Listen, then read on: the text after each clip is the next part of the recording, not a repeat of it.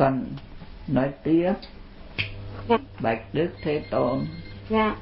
Bạch đức thế tôn bồ tát vào định tiến tu vô lậu thắng giải hiện nguyên con hiện thân phật để vì nói pháp khiến được giải thoát.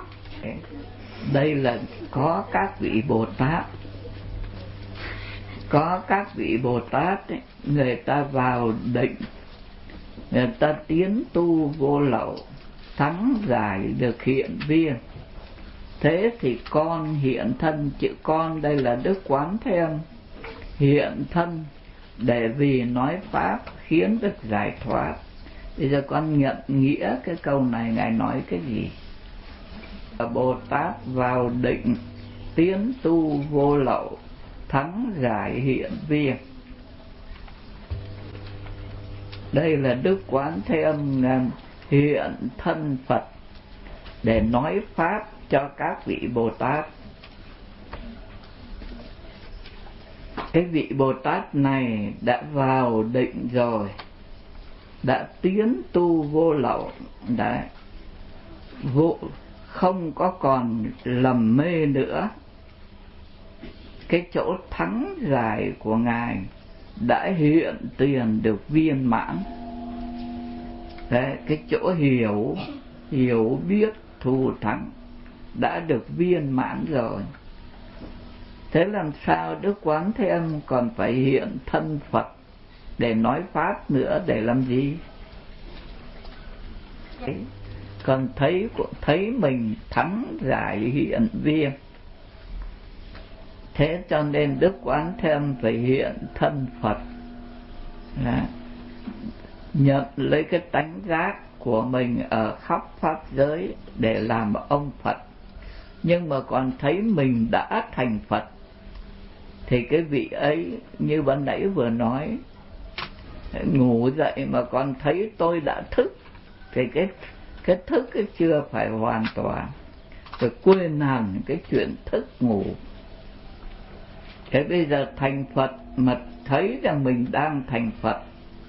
À, thế thì hãy còn chưa quên được cái chuyện thành phật. À, cho nên đây đức quán thế âm phải hiện thân phật để vì nói pháp khiến được giải thoát để cho hoàn toàn bình an. Nếu hàng hữu hợp tịch tịnh diệu minh thắng diệu hiền viên con hiện độc giác để vì nói pháp khiến được giải thoát. Thì cũng như đoạn trên tất cả những đoạn này cũng, cũng cùng một cái nghĩa như trên. Nhưng mà đây là vị hữu học tức là chưa chứng a la hán nhưng mà bây giờ người ta đã được cái chỗ tịch tĩnh diệu minh. Yeah. Thấy cái tâm niết bàn hoàn toàn đã diệt sạch. Những cái lầm mê rồi, cho nên thắng diệu hiện viên. À. Thế thì ngài hiện cái thân độc giá để giảm khiến cho được giải thoát. Thì cũng như ở trên, thắng giải hiện viên, ở đây thì tịch tĩnh diệu minh, mà còn thấy là là được cái chỗ này cái cảnh này là thật. Này thì tới còn một cái tế chướng gọi là cái tế chướng cần phải giải thoát. Con kính bạch thầy ở đây cái chỗ là thắng giải hiện viên. Thì ngài hiện thân độc giác để vì nói pháp khiến được giải thoát. Con kính bạch thầy là ngài nói pháp khiến được giải thoát cái chất thắng giải hiển viên để thành độc giác hay là đây là tịch tĩnh hiểu minh thắng diệu hiện viên. Để ngài cho cái cảnh này ngài tới cái cảnh này mà ngài thấy cái cảnh này thì bây giờ chỉ còn một ở bài trên mình đã học đó. Tức là một cái tế chướng cuối cùng. Con tính bạch thầy con muốn thưa là để về nói pháp khiến được giải thoát vậy là ngài giải thoát cái cảnh thắng diệu hiển viên để thành độc giác hay là vượt khỏi cảnh độc giác để mình thành bồ còn, tát mình còn thấy mình là tịch tĩnh diệu minh. Đấy. Cho nên đây ngài cho thấy rằng chưa phải là thắng hiệu hiện viên đâu mà còn phải tiến lên tu bồ tát hạnh nữa. Vậy ngài đánh thức nhà các vị để tiến lên cái bồ tát hạnh con kính bạch thầy về là để giải thoát cái cảnh độc giác để lên bồ tát ạ. Ừ. Phật thì tất cả cái đám này cùng một nghĩa như vậy. Nếu hàng hữu học chứng lý sanh không của pháp tứ đế hành đạo tịch diệt thắng tánh hiền viên con hiền thanh dân để vì nói pháp khiến được giải thoát. Nào là chứng lý sanh không? Sanh nghĩa là gì? Dạ mô phật cung kính bạch thầy sanh có nghĩa là sanh ra. Nghĩa là không còn sanh tử nữa. Không vào cái việc không vào sanh ra tử. Chợt thì có không còn có thân phận đoạn sanh tử nữa. Tức là các ngài chứng a la hán vĩnh viễn thoát luân hồi. Thế nào là pháp tứ đế? Nói là pháp tiểu thừa thì không đúng. Bởi vì tất cả đại thừa đại thừa tiểu thừa đều ở trong cái tứ đế này cả. À, tứ đế là gồm những cái gì gọi là bốn à trước hết con cho thầy biết thế nào gọi là đế. Cái chữ đế nghĩa là gì? Trí tuệ quyết định. À, cái vị mà người ta đã có có khổ đế là người ta có trí tuệ quyết định biết thế gian này là khổ. Dù cái vui cõi trời chăng nữa người ta cũng không thiết chữ đế là trí tuệ nhưng mà cái thứ trí tuệ quyết định cái trí tuệ thầm sâu. Không có còn còn có một chút lung lay nào nữa. À. thế nào con gọi là tập đế? Dạ. ở đấy mình huân tập những cái phiền não tham sân si. Thế cái người có tập đế người ta biết cái sân là độc lắm ta sợ. Không có bao giờ người ta có cái tâm bực dọc giận hờn. Người ta biết cái ấy là độc. À, cho nên quyết định không bao giờ có một chút bực bội tức tối giận hờn. Thế thì gọi là tập đế. Ừ. thế con hiểu thế nào gọi là đạo đế? Đạo đế. Dạ. Đế, là gì đã? Dạ mô phật cung kính bạch thầy. Đế nghĩa là trí tuệ quyết định ạ. À. thế vậy đạo đế là gì? Cái trí tuệ quyết định tin chắc. Những lời Phật dạy những pháp môn Phật dạy là đúng. À, như ngài A Nan nói dù là mặt trời mặt trăng có thể rơi xuống được núi tu di có thể nghiêng đổ được, lời Phật dạy không có khác được. Đấy đó là bởi vì ngài đạo đế, ngài tin tin quyết chắc ở những pháp môn tu mà Phật đã dạy. Quyết định là lợi ích. Thế còn thế nào gọi là diệt đế? Không phải. Con nói bốn lần chữ đế mà vẫn không xong bây giờ nói lại nghĩ cái cái lời mình nói chứ đừng có nói tràn theo cái đầu lưỡi thì không được. Thầy đang hỏi về diệt đế. Chữ diệt nghĩa là gì? Chữ đế nghĩa là gì? Vậy diệt đế nghĩa là gì? Nghĩa là gì? Tại làm sao lại gọi là diệt dạ thế sao niết bàn của con lại gọi là diệt diệt nghĩa là phá phá đến cùng.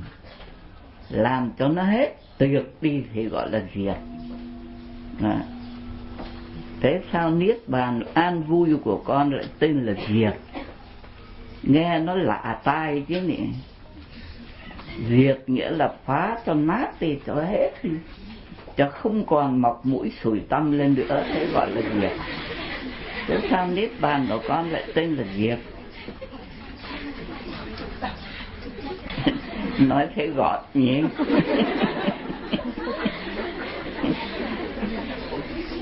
Đấy để cho chúng ta biết bản tánh của chúng ta là tánh phật là tánh giác là tánh a di đà vô lượng quang vô lượng thọ bản chất của chúng ta là an vui, là phật. Thế mà chúng ta lại không chịu ngồi yên để làm ông phật. Mà chúng ta cứ nổi tham sân si, rồi tạo đủ nghiệp, sát đạo, dâm vọng. Thế cho nên bây giờ phải diệt cho sạch cái thói mê muội tối tăm ấy. Phải diệt cho sạch cái lầm mê ấy, trở về bản chất của mình thì bình an, yên vui. Đừng đừng nổi tham sân si lên, đừng có làm những cái việc sát đạo dâm vọng nữa.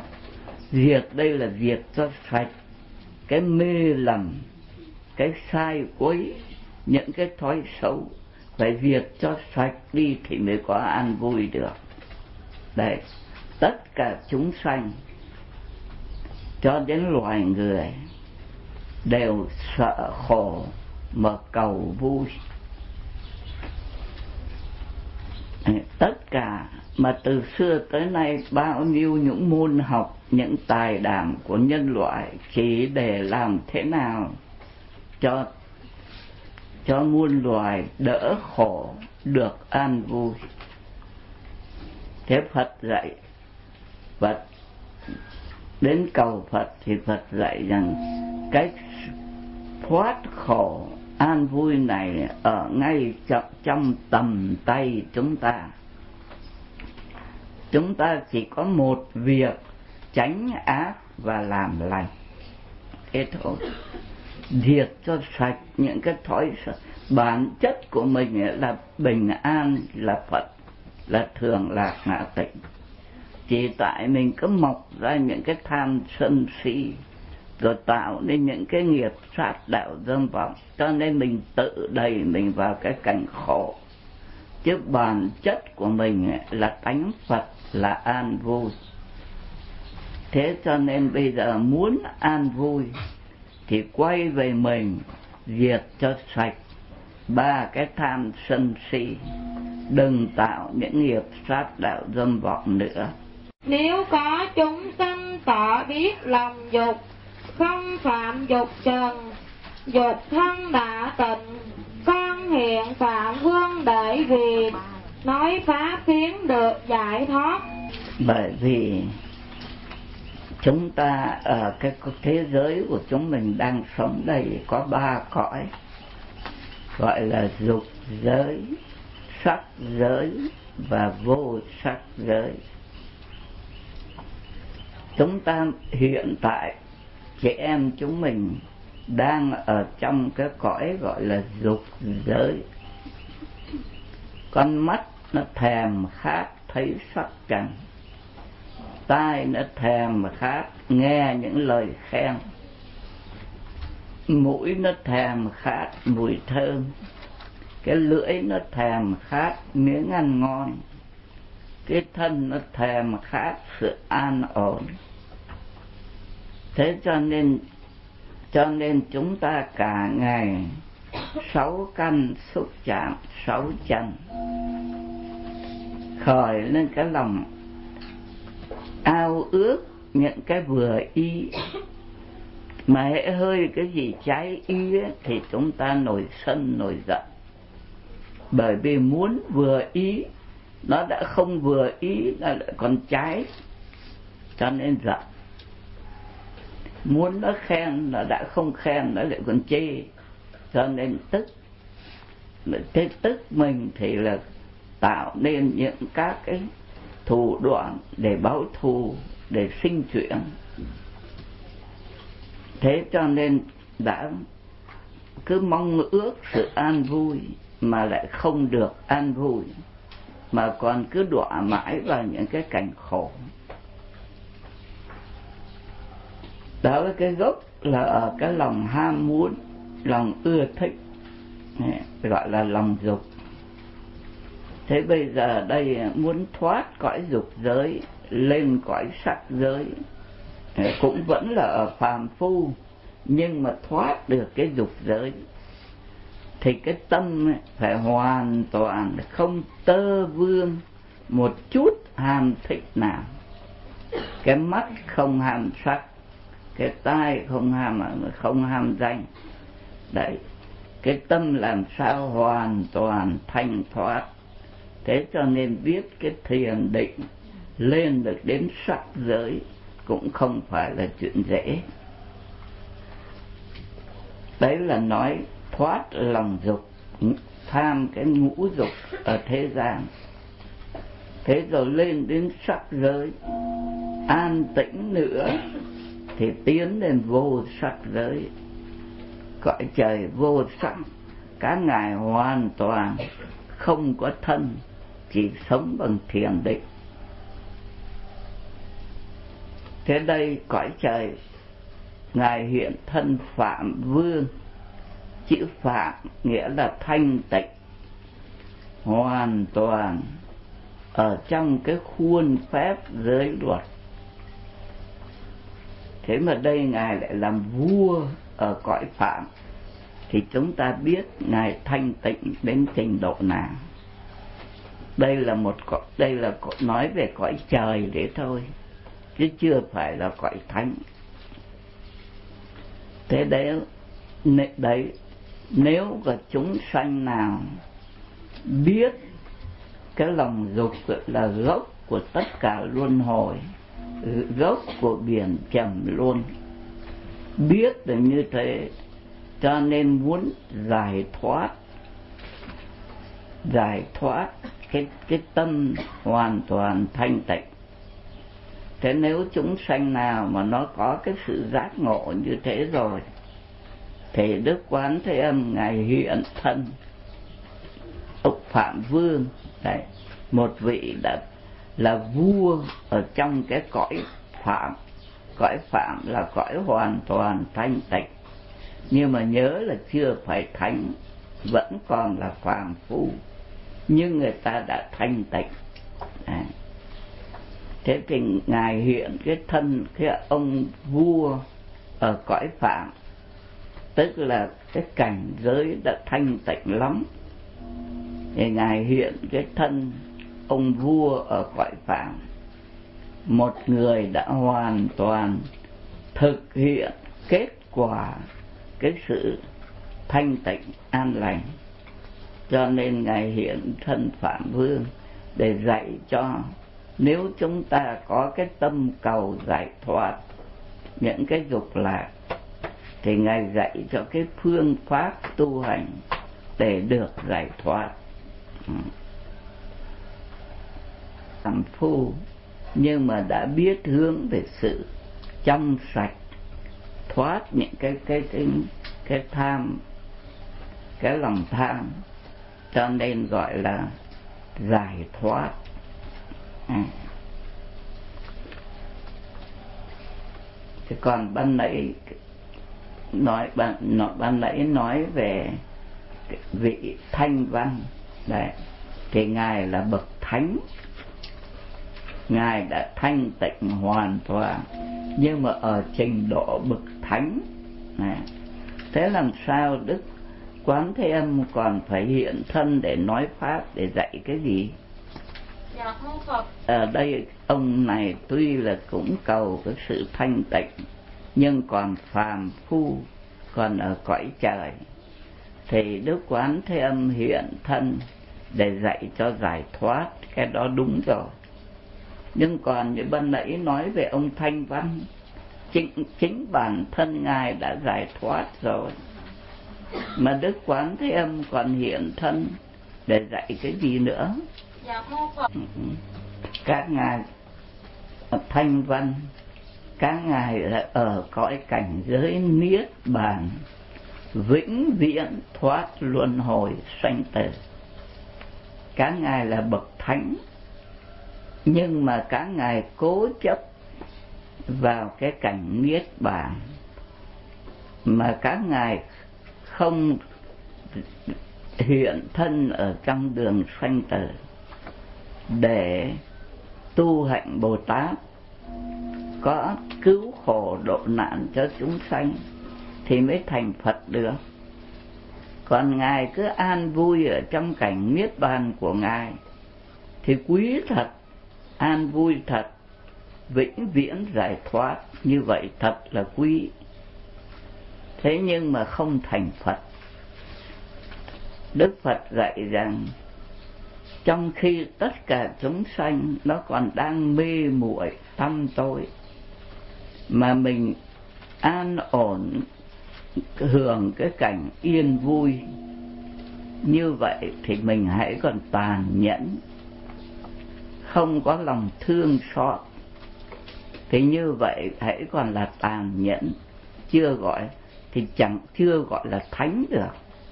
Thánh thì phải có lòng từ bi, cứu khổ độ nạn cho chúng sanh mới thật là thánh thế cho nên đức quán thiêm hiện thân để giác tình cho các ngài.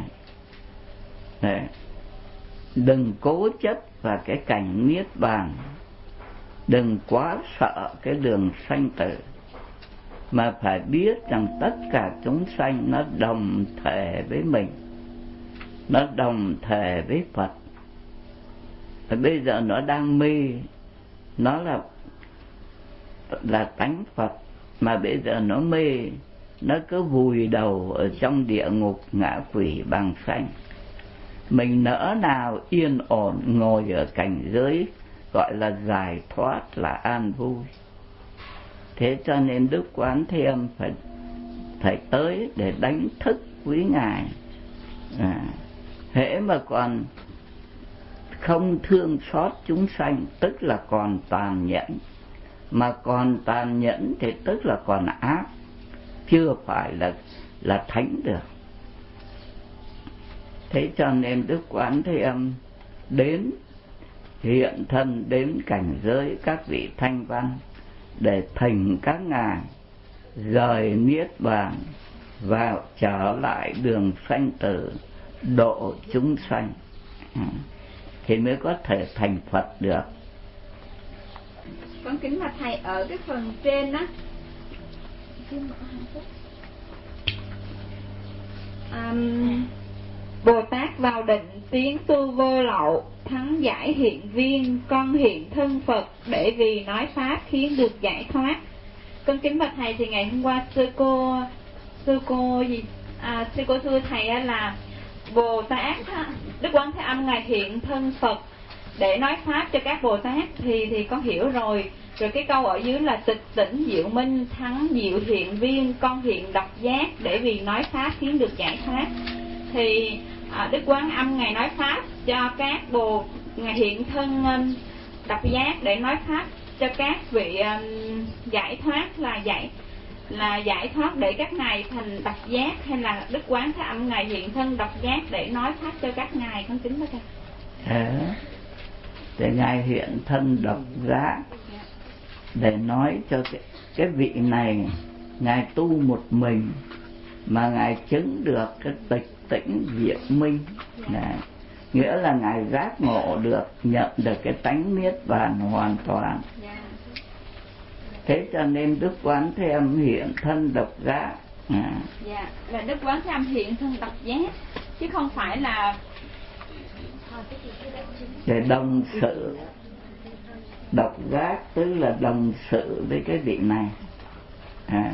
mà vị này thì ở cái nhà hàng hữu học là ở à, đây gọi là chúng ta có tiểu thừa trung thừa và đại thừa. Các vị này thuộc về trung thừa. À.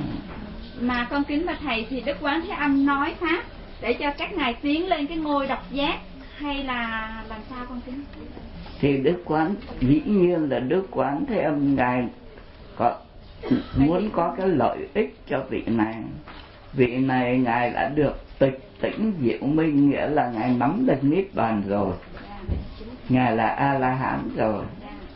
Thế thì đã nắm được niết bàn rồi thì đức quán thế âm chỉ còn để nhắc trở về à, cái ngài hiện thân độc giác là để đồng sự cùng với cùng với cái vị này. Thì ngài để nhắc vị này chờ thầy bởi vì ngài đã hoàn toàn rồi, đã tịch tĩnh diệu minh, đã thắng diệu hiện viên, còn thiếu cái gì nữa đâu. Bây giờ chỉ còn thiếu cái đại thừa nữa thôi là là đức quán thế âm hiện thân độc giác để đồng sự với các ngài để khuyên các ngài ờ, để nói chuyện với các ngài. Dạ. con kính và thầy thầy giảng cho con cái chữ thắng giải hiện viên với cái chữ thắng diệu hiện viên. Thế cái nghĩa nghĩa là một chữ thắng diệu là các ngài nhận được cái tánh niết bàn cái cái cái cảnh giới niết bàn. Thì trong cái cảnh niết bàn của hẳn là bao nhiêu cái thứ thắng diệu những sự tốt đẹp những sự nhiệm màu. À. con bạch thầy thầy chưa cho thương bạch thầy. Các ngài đã giải thoát rồi mà còn gọi là hàng hữu học con bạch thầy. Đã giải thì ở, ở đây không gọi là đây ngài còn đang tu. Bây giờ ngài mới chứng. Cho nên gọi là hữu học. Mà cái vị hữu học này đã đi đến kết quả. Cho nên đức quán thế âm mới hiện thân để để nhắc cho tiến lên cao nữa. Không có lại chấp vào cái kết quả cái kết quả của mình rồi ngồi đấy. À. con kính bạch thầy thì nãy thầy mới dạy cho con cái chữ thắng diệu là các ngài nhận được cái tánh niết bàn thôi.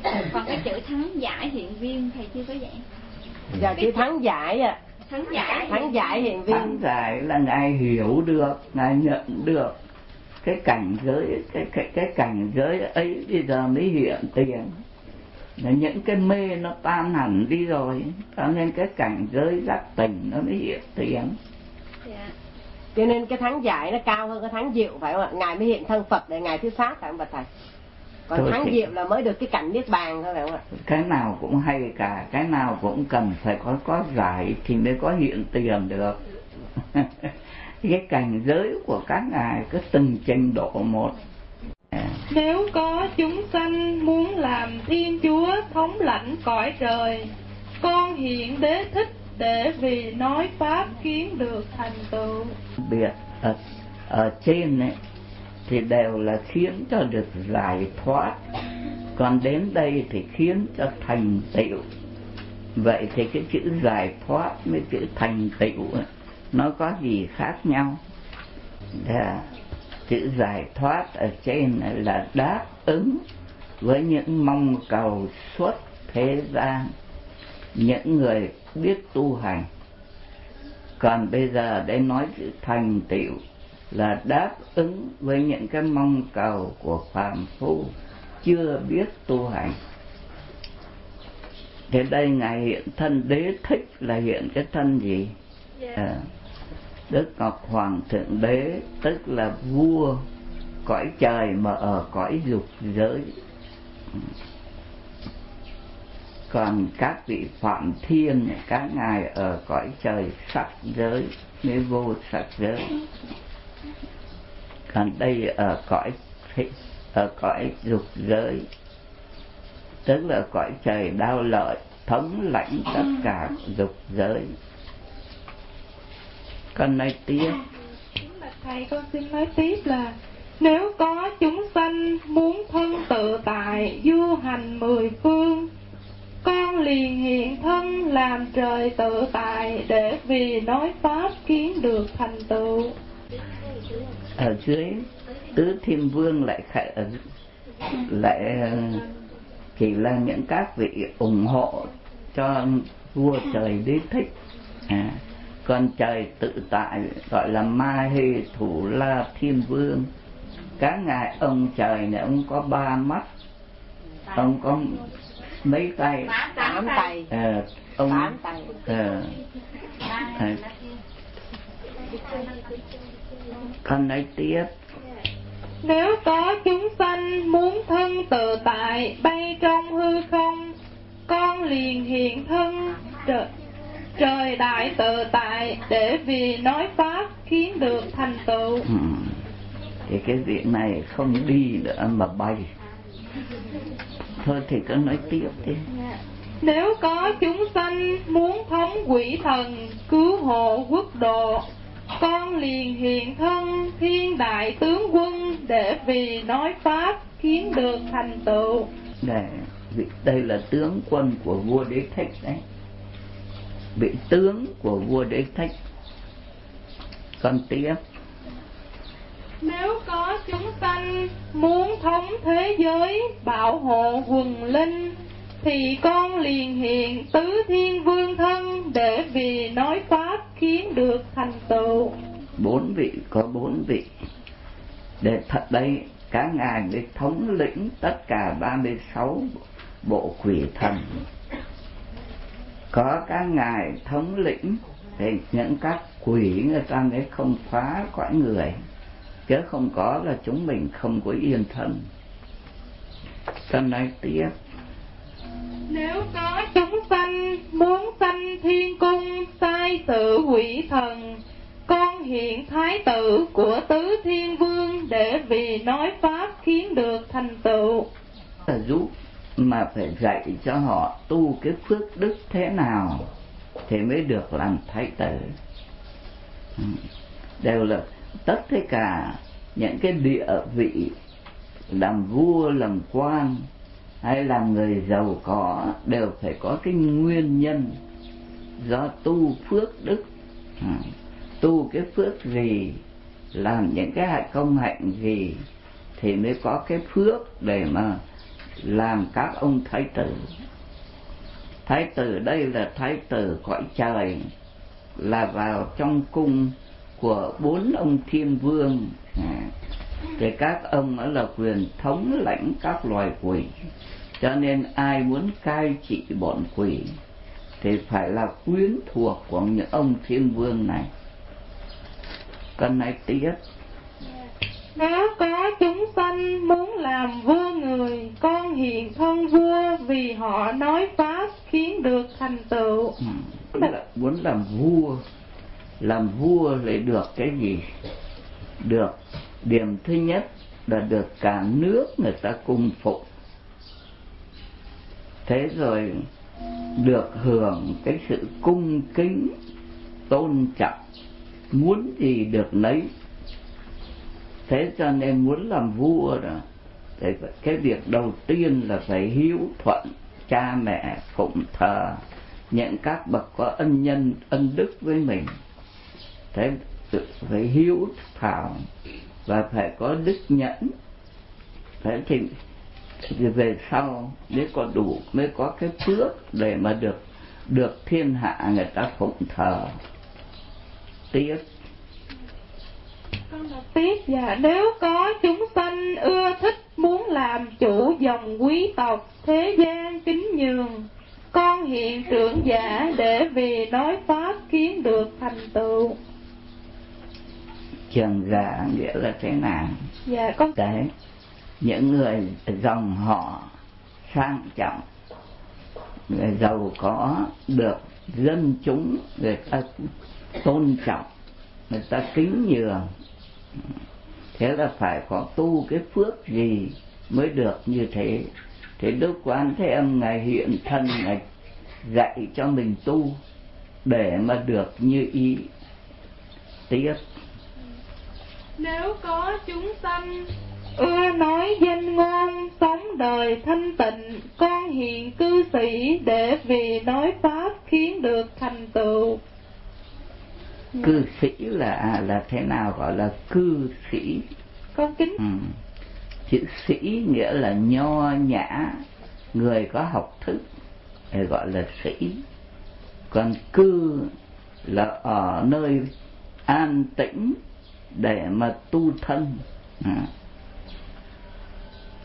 còn nói tiếp Nếu có chúng sanh tham thích chánh trị, phán đoán việc nước, con hiện tể quan để vì nói pháp khiến được thành tựu. Dạ. Thế mà cái phương pháp này có phương pháp hay cũng có phương pháp giả cho nên đây nói chữ tránh nghĩa là những cái phương pháp đặc biệt tốt đẹp để lợi ích cho nhân cho cho nhân dân cho nên gọi là tránh. à, cái phương pháp cai trị, mỗi người một phương pháp, mà có những phương pháp của những người người ta chỉ mong lợi, nắm lấy quyền hành để người ta làm chủ tể thế như thế không gọi là chánh trị. Chánh trị là những cái phương pháp đem sự an vui cho nhân dân, khiến cho cái guồng máy ở trong nước được điều hòa an ổn cho dân được no ấm đầy đủ. Con nói tiếp. Phật con đọc tiếp là Nếu có chúng sanh ưa thích số thực Điều dưỡng về sanh Bảo tồn thành kiến Con sẽ hiện thân làm bà La Môn Để vì nói Pháp khiến được thành tựu. Thế nào con gọi là bà La Môn Người ta chủ trương về tôn giáo Về giáo dục dân chúng. Thế cho nên cái người ta điều dưỡng vệ sanh à, tức bảo vệ cái đời sống gọi là vệ sanh. Bảo vệ cái đời sống cho dân chúng cái đời sống tinh thần. Thế cho nên cái dòng phái này coi như là cao nhất quý tộc nhất của ấn độ còn nói tiếp nếu có những ai ham học xuất gia giữ gìn giới luật, con hiện thân tỳ kheo tỳ kheo ni, để vì nói Pháp khiến được thành tựu. Đó, như vậy tỳ kheo với tỳ kheo ni là lấy giới luật là mô phạm, lấy giới luật là mạng sống. Cho nên nó cái luật học là bổn phận của tỳ kheo với tỳ kheo ni. Đấy. con đọc tiếp. Nếu có chúng sanh thích trì năm giới con sẽ hiện thân hoặc ư bà tắc hoặc ư bà di để vì nói pháp khiến được thành tựu.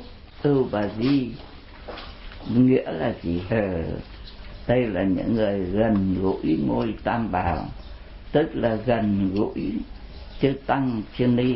À, thì dĩ nhiên gần gũi những người học học luật và giữ luật thì mình cũng phải có một phần nào. Cho nên người ta trì năm giới. Còn này tiếp nếu có nữ nhân nội chánh lập thân tề gia trị quốc con sẽ hiện thân nữ chúa hoàng hậu mệnh phụ đại gia để vì nói pháp khiến được thành tựu. Nội chánh lập thân là thế nào? Thì chánh lập thân tề ra trị quốc.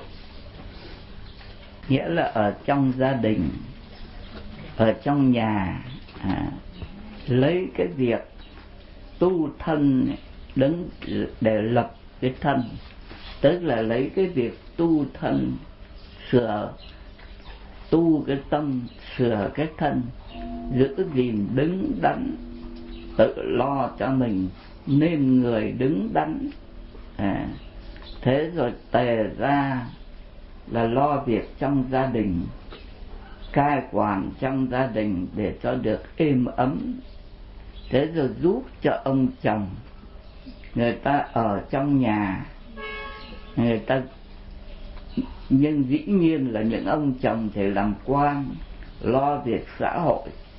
Thế thì người ta ở nhà, ở trong nhà, người ta tự tu thân, người ta coi việc gia đình, rồi người ta giúp cho cái người chồng ấy để lo việc quốc gia xã hội. Cho nên gọi là tề gia trị quốc. Là người nữ, nhưng mà người ta ở trong nhà nhưng người ta vẫn giúp cho chồng để người chồng làm mọi việc lợi ích cho cho ngoài xã hội cho trong nước. Cái cái, cái người người ta tuy là thân nữ nhưng người ta vẫn có cái ý lợi ích quốc lợi dân. Thế thì đức quán thế âm hiện thân gì à, thì nữ chúa với hoàng hậu thì chúng ta biết rồi. Còn thế nào gọi là mệnh phụ đại gia? Dạ con kính bạch thầy. Theo con hiểu mệnh phụ đại gia tức là những uh... nói chữ phụ nữ thì chữ phụ nữ là gì? Con kính bạch thầy và phụ nữ. Tức là những người nữ những người đàn bà. À, đến đây mệnh phụ tức là những cái bà quan lớn à, người ta có cái địa vị lớn ở trong xã hội.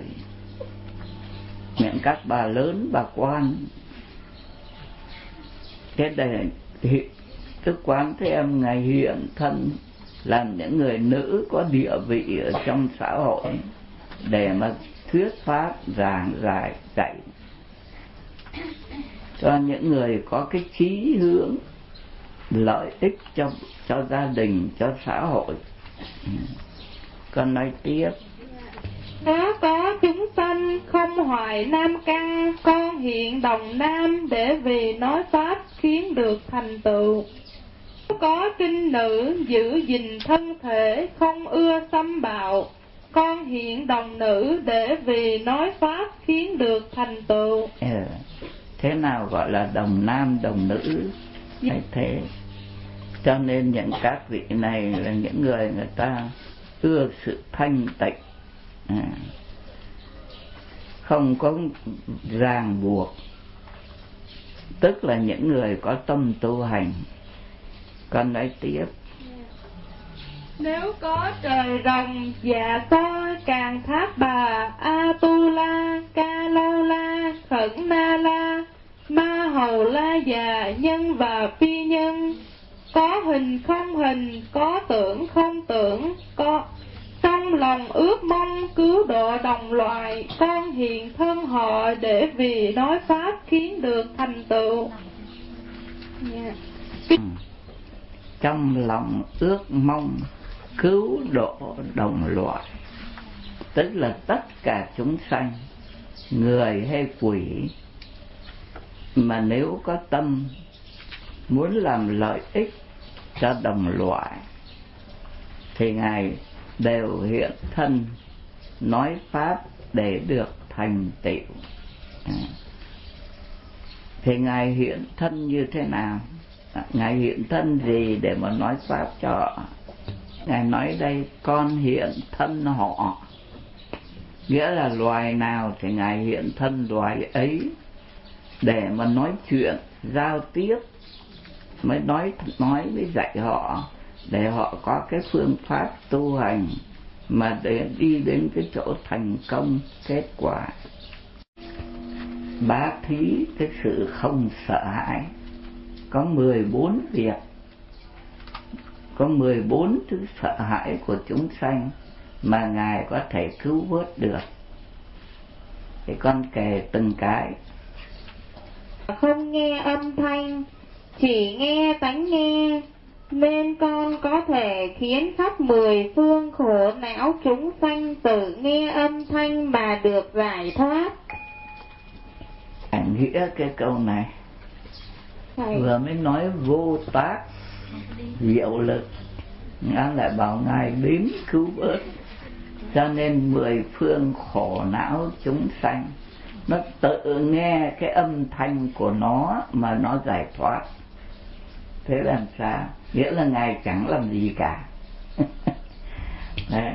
nó kêu nó tự nghe cái âm thanh của nó mà nó giải thoát. Thế là đầu đuôi làm sao? Đấy. Khi mình khổ thì mình không nghĩ đến cái chuyện khác. Mình chỉ mong cho mình hết khổ. Thế cho nên khi mình kêu nam mô quán thế âm bồ tát ấy, là mình tận tình mình mình để ý đến cái danh hiệu của ngài, mình nam mô.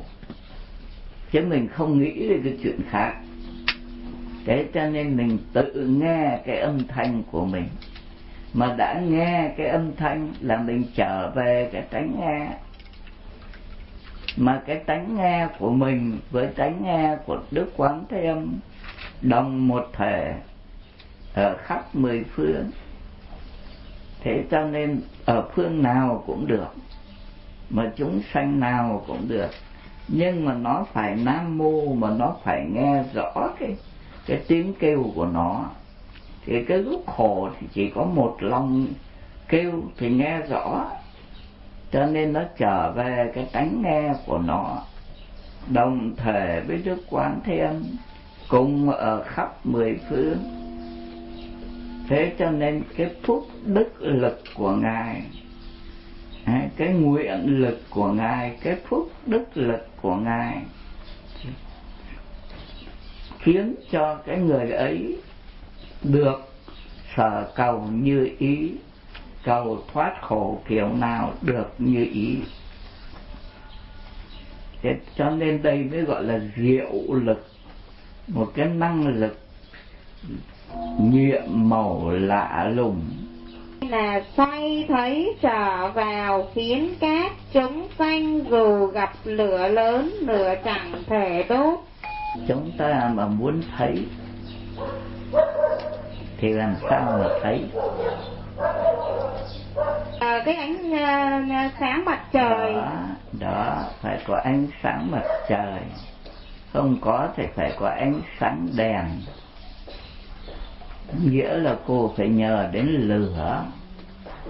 Cả ngày cô thấy đây là cô chơi với lửa. Chơi với lửa thì lửa nó đốt. Thế vì thế cho nên ngài xoay cái thấy trở vào.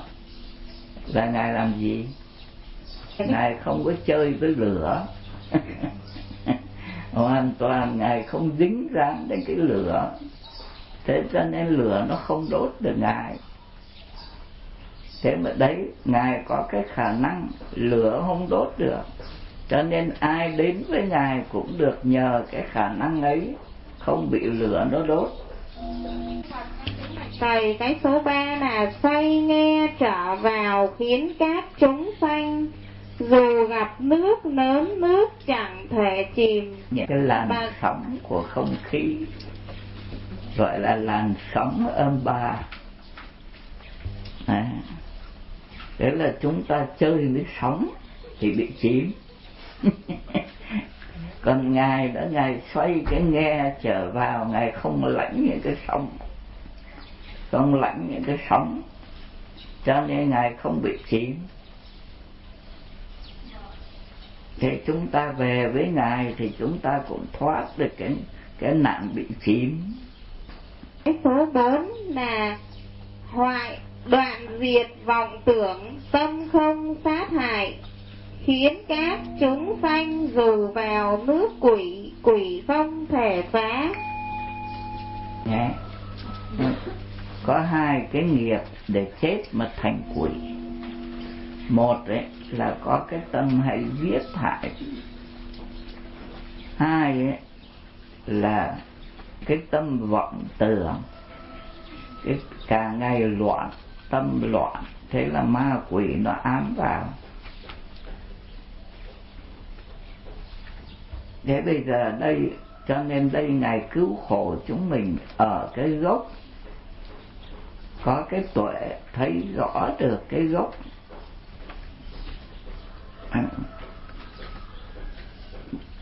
Quỷ nó chỉ, quỷ chỉ ám phá được những người đồng nghiệp với họ thôi cảm thấy rằng mình không đồng nghiệp thì họ không trông thấy mình. Họ không có thể phá được.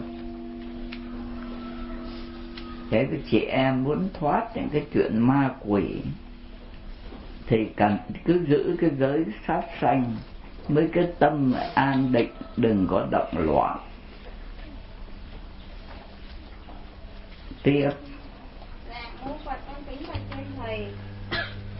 Quan tập cái nghe trở thành linh diệu. Sáu căn tiêu tan vì nghe đã đồng thể với âm thanh, nên khiến chúng sanh sắp bị giết hại. Dao gãy từng đoạn như gương chém nước, gió thổi ánh sáng tánh chẳng đồng dao. Chứ ở trên bài chào ở trên, con gỡ sáu cái nút cho nên là sáu cũng hết sáu đã hết thì một cũng không còn.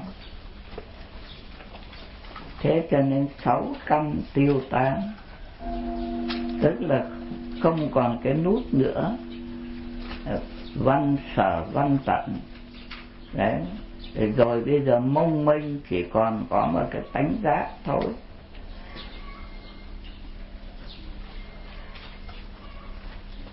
Thế cho nên chỉ có cái tánh giác mà tánh giác bất nhị, không có đối đối đại với cái gì cả.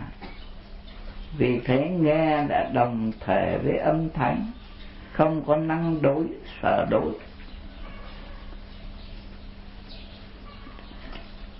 Cho nên chúng sanh bị giết hại, thì cái dao nó có hai việc. Một ấy là cái dao nó gãy hai là như gương chém nước, như gió thổi ánh sáng. Thân mình cũng chẳng làm sao mà cái con dao nó cứ bình an không có cái chuyện đối nhau nên không có cái sự không có cái sự đâm chém. Đây là thoát cái nạn đau binh. Còn nói tiếp văn huân tinh minh sáng khắp pháp giới, dẹp tan u ám, khiến cho chúng sanh bị quỷ dữ như dược xoa, la sát, cưu bàn trà, quỷ tỳ xá già, Thú đơn na tuy gần một bên mà mắt chẳng thấy. Thế nào là u ám mà thế nào là sáng? Văn huân tinh minh Thế như chúng ta bây giờ cứ sống Con mắt thấy là căn trần và thức. Cái tai nghe cũng căn trần và thức. Thì cả sáu căn đều thế. Mà cái căn, cái mắt tai này đâu có phải mình. Nó là cái hư vọng. Chúng mình vào bào thai mẹ bé hút máu của mẹ. Tết thành có cái loại mắt tai này. Sống với cái hư vọng thì gọi là phi ám. Theo cái nghiệp báo, mặt trời, ánh sáng mặt trời là y báo thì sống theo cái hư vọng, sống theo đường mê. Thế cho nên gọi là u ám tối tăm đó là cái đường luân hồi sanh tử. Còn trở về cái chân tâm bản tánh, sống với tánh phật của mình, sống với sự thật, đó gọi là sáng suốt. Thế bây giờ đức quán thế âm chuyên sống với cái tánh nghe, đã sống với cái chân tâm của mình. Cho nên ngài bây giờ văn huân tinh minh sống với cái bản giác sáng suốt. Thế cho nên dẹp tan u ám. Thế cái bọn những loại loại ma mấy loại quỷ họ thuộc về loại loại cõi âm tối tăm. Cho nên họ gặp họ sợ ánh sáng. Dù họ có đứng bên cạnh mình họ cũng không trông thấy. À, tuy gần một bên mà mắt chẳng thấy. Thế họ không thấy mình, thì họ đâu có làm hại mình. Thế cho nên giữ cái tâm an định, đừng có vọng tưởng. Thế thì không sợ những loài quỷ nó phá. Tam thiên, đại thiên, thế giới, trăm ức mặt trời, mặt trăng hiện có sáu mươi hai ức hằng hà sa pháp vương tử. Nghĩa là trong tam thiên, đại thiên thế giới, chúng mình tức là cái cõi tha bà này. Thì chúng ta là một quả đất, là một thế giới. Mà đây Phật dạy có cả tam thiên, đại thiên thế giới. Cho nên có trong cõi ta bà mình đây có trăm ức mặt trời mặt trăng. Chúng ta bây giờ ban đêm nhìn lên trời, cứ thấy có như ông sao là cái ông ấy ở đâu đấy? Ban đêm con nhìn lên trên trời, chi chít như ông sao? Thì ông sao là cái gì đấy? Trăm ức mặt trời đấy mặt trời nhiều như thế đấy. Mặt trời cũng là một ông sao.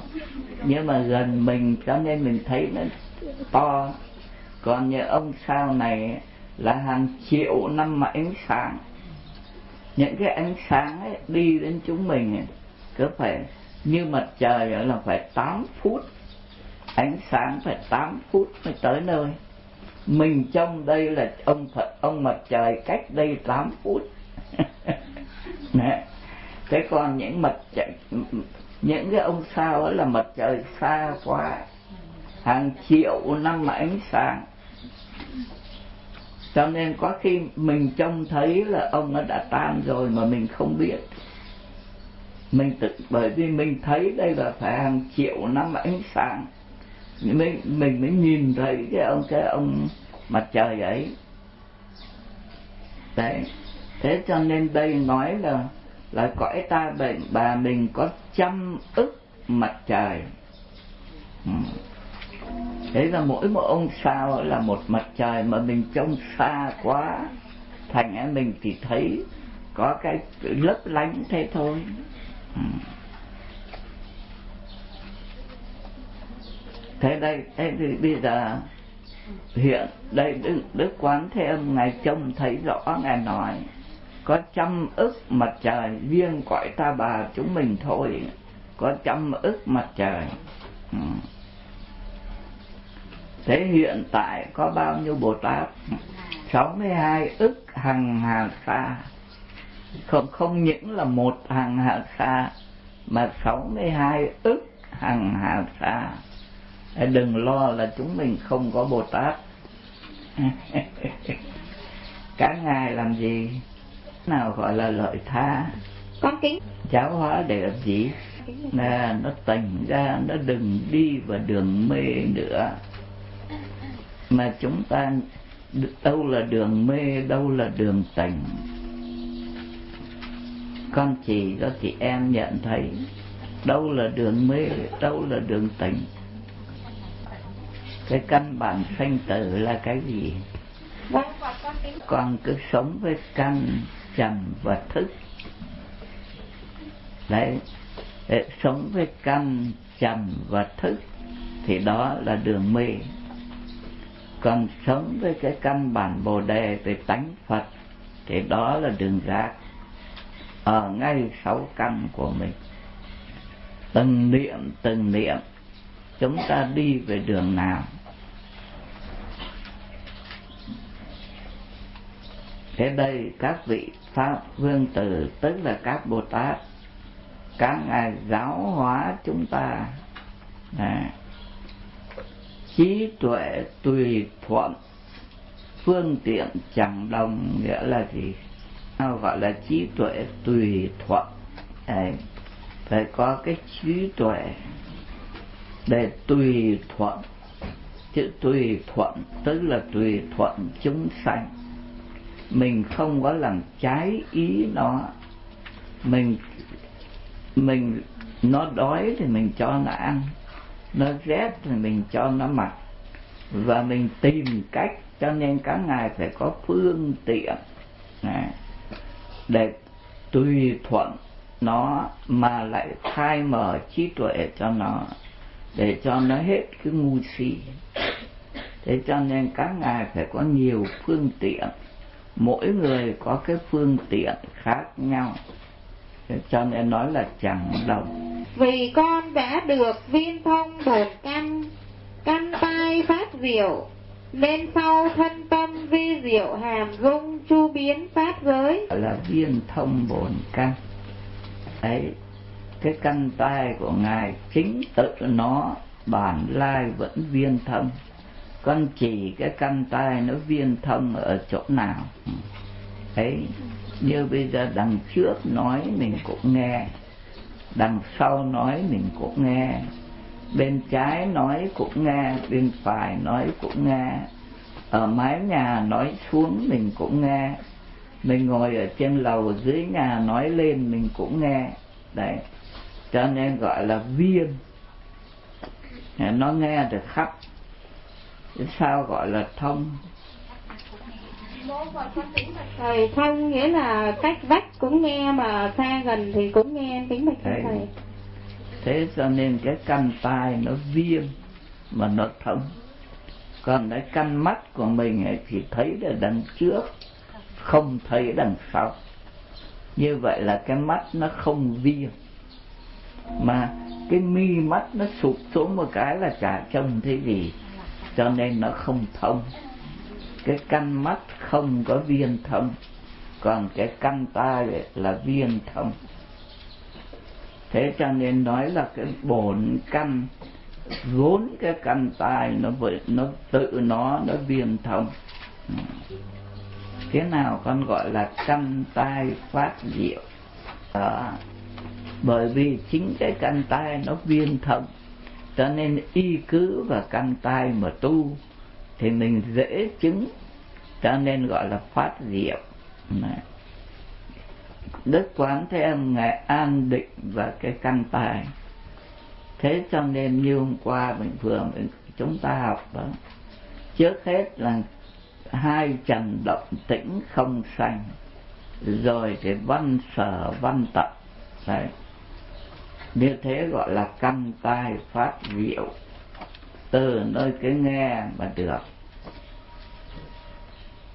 Con nói tiếp. Con xin nói tiếp. Nên sau. Nên sau thân tâm vi diệu hèn dung chu biến pháp giới. Đó là cái cái tánh nghe của ngài. Cái nghe chính là cái chân tâm của ngài cái chân tâm ở khắp pháp giới, tức là cái pháp thân cho nên cái chân tâm, cái pháp thân vi diệu hàm dũng ở cả khắp cả pháp giới, ngậm tất cả vạn pháp.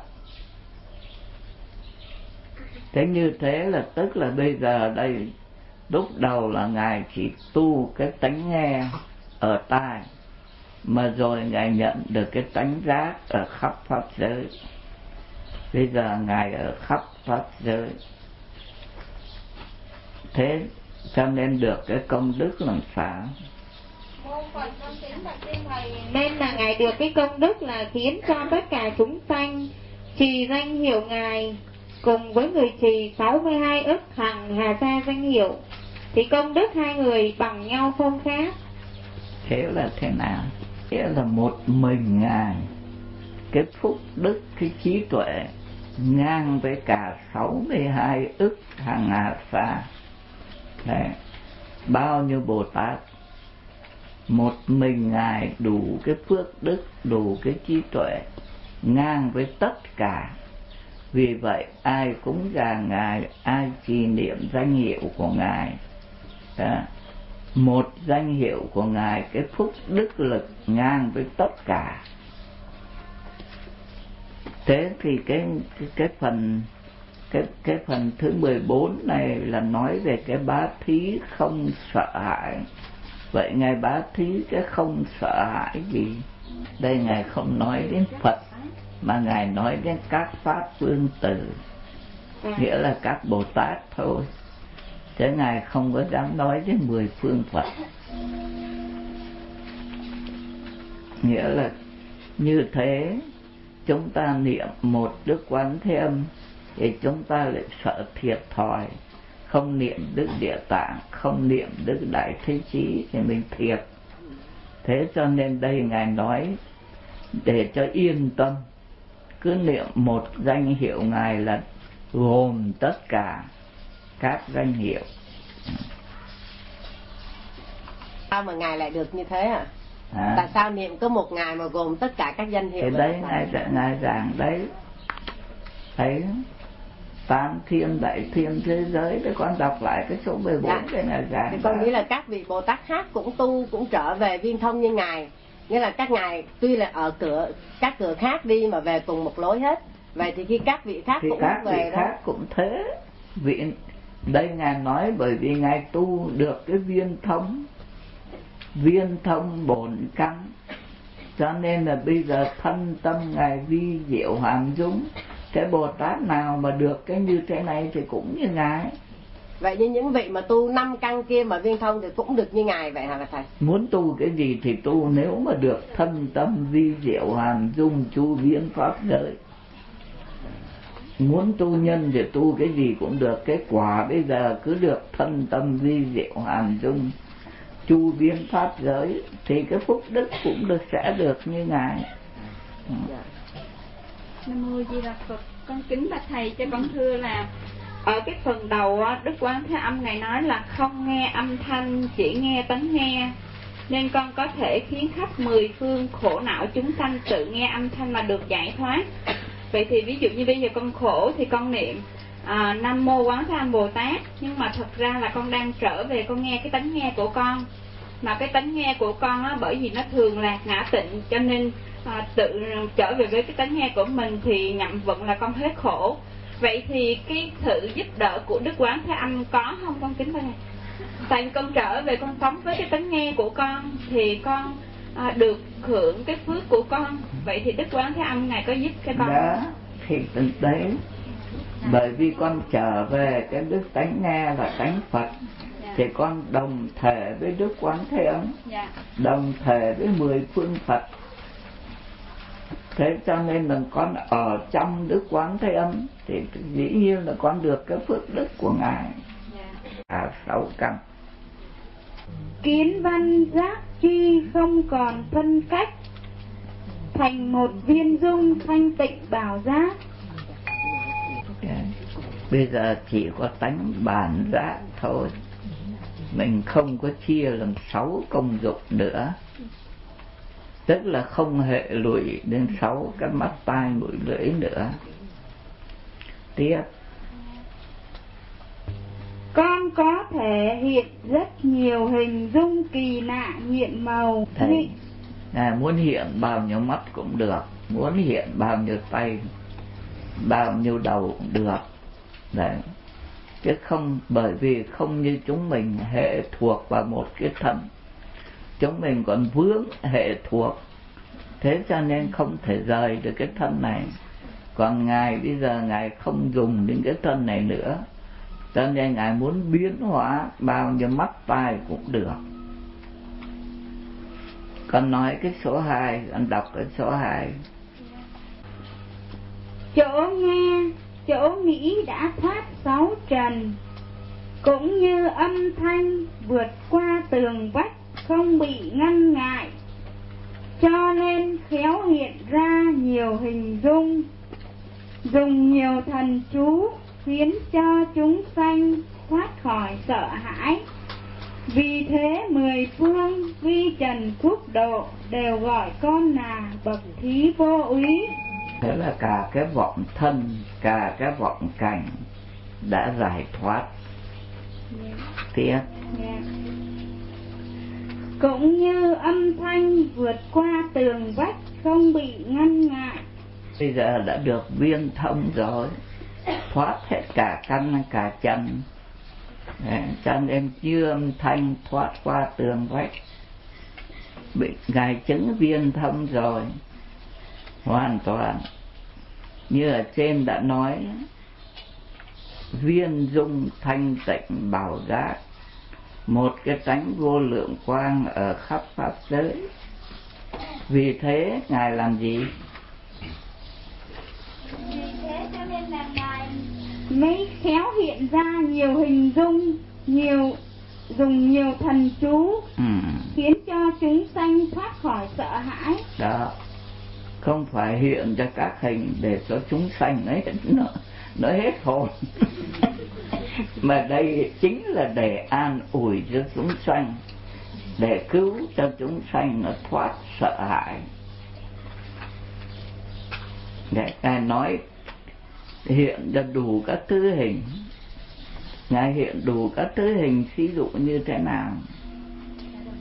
Kính bạch trên thầy là như là ở trên nói rằng là um, ngài có um, một đầu thì cho đến một trăm lẻ tám đầu và đến tám vạn bốn ngàn đầu. Đấy dạ. hàng vạn cái đầu vậy thì đấy, bây giờ đây ngài nói ngài hiện ra nhiều hình dung, tức là hiện ra ông trời cũng được, hiện ra con người cũng được, mà hiện ra con chim, con gà cũng được. Ngài muốn hình thứ nào cũng được. Đấy.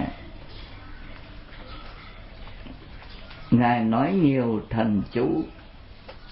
Để làm gì? Chúng mình có cái thần chú nào của đức quán thế âm vậy là chú đại bi con kính này. À đấy thiên thủ thiên nhãn vô ngại đại bi tâm. Này tức là cái bài thần chú vô ngại là không có cái gì làm chướng ngại được cả. Cái tai nạn gì ngài cứu cũng được không có một cái gì làm chướng ngại. À thế đấy vì bởi vì ngài đã thành phật rồi. Cho nên bây giờ ngài cứu giúp chúng ta bằng mọi cách. À, chúng ta có tai nạn gì ngài cũng hứa ngài cứu được. Thế cho nên tên ngài là thí vô úy. Ngài nhận, ngài nhận một cái tên bá thí không sợ hãi. Ai sợ hãi bất luận một cái gì cầu ngài cũng cứu được cả con đọc cái số 3 bài con tu tập tánh bổn diệu của nhĩ căn viên thông. Bổn căn thanh tịnh nên khi con dạo chơi các thế giới hay khiến chúng sanh phá tâm tham tham xả thân chân bảo cầu con thương xót. Rồi thì cái việc cái gốc là nguyên nhân bởi vì ngài tu thì cả mấy cái đây đều nói một cái lý do. Bởi vì ngài tu cái nhĩ căn cho nên ngài thành phật. Bây giờ ngài thành phật rồi thì bây giờ cái công đức thứ ba làm gì? Nghĩa là làm sao? À, ngài đã buông được sạch. Cái vọng thân vọng tâm vọng cảnh ngài buông sạch rồi. Cho nên chúng sanh nó về với ngài thì nó cũng được như ngài nó cũng buông được ra buông được cái vọng thân vọng tâm vọng cảnh. Cho nên nó xả được cái thân chân bảo. Xả chúng sanh nghĩa là nó ham của cải lắm. Thế, nhưng mà cái nó ham nhất quý nhất chính là cái thân nó. Cho nên đây ngài nói hai cái. Nó xả được cái của cải nó lại xả được cái thân nghe cầu cầu đức quán thế âm thương xót. Nghĩa là nó theo ngài, nó học đạo của ngài, để nó buông được cả thân, buông được cả tài sản. Còn này tiếp, cái số 4 con chứng Phật tâm tới chỗ cứu cánh, nên có thể đem của báu cúng dường mười phương như lai sáu đạo chúng sanh ở khắp pháp giới. Cầu vợ được vợ cầu con được con cầu chánh định được chánh định cầu sống lâu được sống lâu. Như thế cho đến cầu đại niết bàn được đại niết bàn. À, của mình thì đến có chỗ cứu cánh rồi tức là ngài thành phật rồi. À. thế cho nên ngài có thể làm gì cho đến cầu niết bàn tức là cầu thành phật rồi rồi ngài cũng giúp đỡ cho tu để ngày mai thành phật.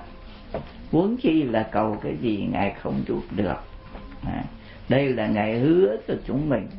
À, muốn cầu cái gì cũng được. Nghĩa là miễn là trở về niệm danh hiệu của ngài. Tức là tu như ngài. Đọc tiếp còn đoạn của chót này đọc nốt. Thọ ký danh hiệu. Kính bạch thầy con xin đọc tiếp. Thọ ký danh hiệu. Phật hỏi viên thông.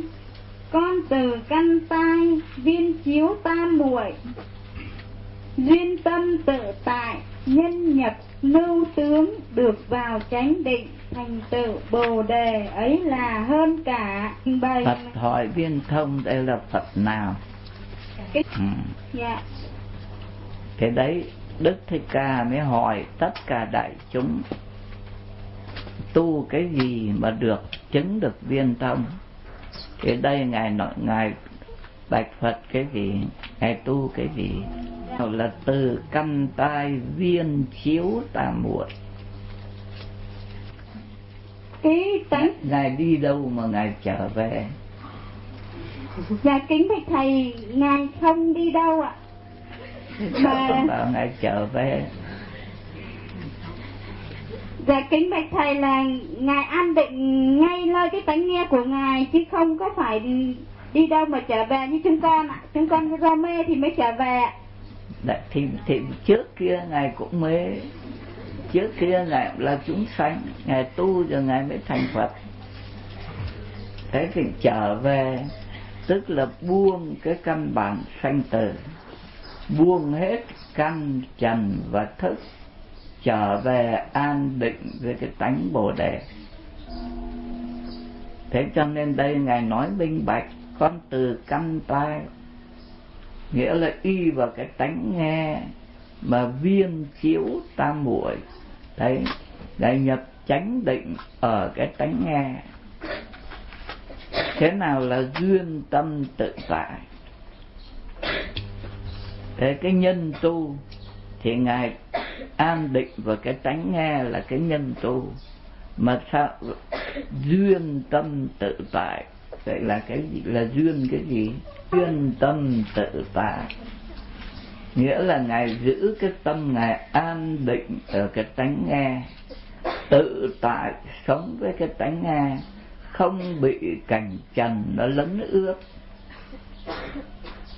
Thế cho nên nhờ cái sức định lực này mới thành công. Chứ nếu mà không có định lực mà cứ để cho cảnh trần nó nó lôi cuốn thì không được. Thế cho nên y và căn tai viên chiếu tam muội, an định hoàn toàn. Chữ viên là trọn vẹn trọn vẹn chỉ là một việc. Chiếu soi cái tánh nghe an định sống với cái tánh nghe. Mà nhờ cái định lực không bị cảnh ngoài nó lôi cuốn, gọi là duyên tâm tự tại. Đấy. Nhân nhập lưu tướng. Đấy, cái nhân tu của ngài là ngài nói ban nãy, cái căn tai nó viên chiếu tam muội thì đây nhắc lại là nhân nhập lưu tướng. Do nhờ cái cái chỗ ngài nhập lưu vào dòng thánh hoàn toàn sống với tánh phật. À, cho nên ngài vào chánh định à, an định thì từ từ cả năm cái ngũ trược nó tan dần đi. Năm cái lớp vô minh nó tan đi cho nên ngài thành tựu bồ đề. Bây giờ cái tánh giác hoàn toàn tỏ lộ. Hết cả năm lớp vô minh, thoát ngũ trược đấy, cái đường tu của ngài bắt đầu từ chỗ an định ở cái tánh nghe. Do có cái định lực hoàn toàn, không bị cái sanh tử nó lôi cuốn. Thế cho nên ngài sống với cái tánh nghe là ngài thành tựu đạo bồ đề. Con nói tiếp, bạch đức thế tôn. Kính này thầy, con xin nói tiếp ạ. Bạch đức thế tôn, phật quán thế âm, khen con khéo được viên thông pháp môn. Ở trong đại hội, thọ ký cho con hiểu là quán thế âm. Bởi con xem nghe mười phương viên minh cho lên quán thế âm danh vang khắp mười phương thế giới. À, đây ngài nói lý do vì sao mà cái tên của ngài vang khắp mười phương thế giới. Con xem nghe mười phương viên minh. Thế nào là xem nghe mười phương viên minh? Ngài thấy xem là thấy nghe ngài thấy, ngài nghe nghe được khắp cả, thấy được khắp cả. Tức là cái tánh giác của ngài bây giờ nó ở khắp mười phương. Cho nên ngài thấy khắp, ngài nghe khắp cả mười phương. Viên minh, viên là tròn, không có chỗ nào mà hở cả. Sáng suốt, tròn tròn vẹn trọn vẹn. Thế thì bởi vì ngài ở khắp mười phương cho nên cái tên của ngài nó cũng ở khắp mười phương. Ngài ở khắp mười phương ngài cứu khổ độ nạn cho chúng sanh. Thì có chỗ nào mà không có chúng sanh đã cầu ngài. Thế cho nên cái âm cái cái danh hiệu của ngài vang khắp cả. Thì đây ngài nói cái lý do à, lý do cái tên của ngài có mặt ở khắp mười phương bởi vì chính ngài cả thân cả tâm đích thân ngài đang có mặt ở khắp mười phương đang cứu khổ độ nạn cho khắp mười phương. Cho nên mười phương chúng sanh nó đang niệm danh hiệu của ngài. Cho nên danh hiệu của ngài đang vang ở khắp mười phương. Cô thịnh thầy vợ trang 257 ạ. Nam mô A Di Đà Phật. Kính bạch thầy ờ, ở chỗ câu ờ, hỏi đáp ấy ạ. Chỗ cuối là nay giác kết đã giải, ắt chi kiến không phát thì vọng mới không nối tiếp. Con kính bạch thầy ạ.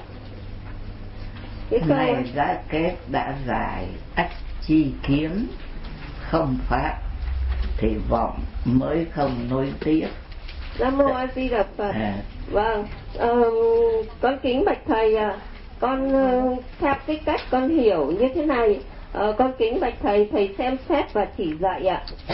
Ờ, ngay cái chỗ này tức là các cơ vị Bồ Tát đã phá được không đã phá được ờ, ờ, căn Phá trần ải. thức vâng À. căn trần thức tức là phá được cái sắc thọ tưởng còn ờ, hành thôi. Nhưng mà vì các vị vẫn còn nếu mà còn ừ, còn còn ờ, chấp cái ờ, ngã kiến tức là năng giác là trí chiếu soi cái cảnh ờ, sở giác là cái ờ, cái cái pháp mà kiến đấy ạ. Thì pháp ái. vâng pháp ái thì là vọng vẫn còn nối tiếp. Thế ở chỗ này thì con um, con ờ, kính bạch thầy là vì là học ở cái chỗ kinh ờ, kim cang ấy, thì con vẫn còn vướng mắc hai cái chữ là ngã ngã tướng và ngã kiến. Thế mà ngay đầu kinh thì thầy ờ, thì Phật có nói về cái nếu mà Bồ Tát còn chấp cái ngã tướng, nhân tướng, chúng sanh tướng, thọ giả tướng thì không phải là Bồ Tát. Nhưng đến cái phần mà chi kiến chẳng sanh thì Phật để nói là nếu còn chấp ngã kiến chúng ờ, nhân kiến chúng sanh kiến thọ giả kiến thì ờ, cũng ờ, vẫn chưa được. Thế nhưng cho nên con mới phi là con con vẫn còn vướng mắc ở hai cái chỗ ngã kiến và ngã tướng. Bởi vì nếu mà um, phân tích từ ra thì ngã tướng và ngã kiến một đằng thì ngã tướng cho rằng là uh, thân rồi là Ờ, người ừ, thân bình thân người và chúng sanh và tuổi thọ là thật. Còn ngã kiến thì thấy rằng ờ, thân người ờ, thân vật rồi chúng sanh thọ cái cái tuổi, tuổi thọ cũng là thật. Thì cái hai cái ấy nếu mà phân tích từ thì nó cũng giống nhau. Nhưng mà ừ, về nếu mà còn chấp cái danh tự tức là lời nói và danh từ thì trong tất cả các cái, trong kinh kim cang thì Phật đều phá là ngay cả cái chúng sanh phi chúng sanh thị danh chúng sanh tức là cái chúng sanh ấy chỉ là giả danh thôi tự đặt tên mà giả tà tạm thôi chứ không phải là chúng sanh. Mà Phật cũng nói là ngay cả cái vô thượng chánh đẳng chánh giác cũng chỉ là giả tạm thôi và cái lời nói của Phật cũng không cố định chỉ như là thuốc trị bệnh. Thì là những, cái à, Phật đã phá về cái danh tự và lời nói thế còn cái ngã tướng và ngã kiến thì học đến đây thì con mới suy ra là có lẽ là về ngã tướng thì là Phật muốn nói cho những cái Bồ Tát sơ phát tâm tức là vẫn còn chấp cái thân năm uẩn uh, là mình và uh, chấp cái cảnh sáu trần là thật còn cái ngã kiến là những cái vị Bồ Tát đã vào sâu rồi tức là không còn thấy căn trần thức là mình nữa thì Phật là dùng cái ngã ờ, ngã kiến. Kính bạch thầy như thế có có sai không ạ? Thật ra thì ngã kiến với ngã tướng đã có ngã kiến thì tức là chấp có ngã. Nhưng mà cái tướng của ngã đó cái tướng của ngã là cái gì? Dạ tướng của ngã chính là cái ngã. Cái ngã là cái gì? Dạ ngã tức là chấp ta là là là là thật ạ. Thế vậy nhưng mà cái tướng của nó. Vâng. Bây giờ cô đã nói đến cái tướng thì cô phải chỉ cái tướng ấy ra xem ngã nó tướng là cái tức gì. là con có cái hình tướng thật sự ạ. Thế còn kiến tức là có cái chi kiến ạ. Cái hai cái Kiến thì là khác thấy. nhau. Vâng. Thì thấy thấy thì tức là thấy có ta thì phải có tướng thì mới thấy vâng còn chúng mình bây giờ chấp cái ngã mà không biết ngã là cái gì cả. Đó, chỉ cứ ăn cơm uống nước là thì là nhận cái thân bằng cơm gạo này là mình. Đấy thì đấy là phàm phu. Còn cái ngã kiến tự chấp từ cái thọ cái tưởng. Cái đấy thì, thì cái phía trong nhưng mà thực ra nếu mà đã có cái hình tướng thì đâu có gọi là hư vọng. Ở đằng này là không có cái ngã mình không biết mình là cái gì cả. À.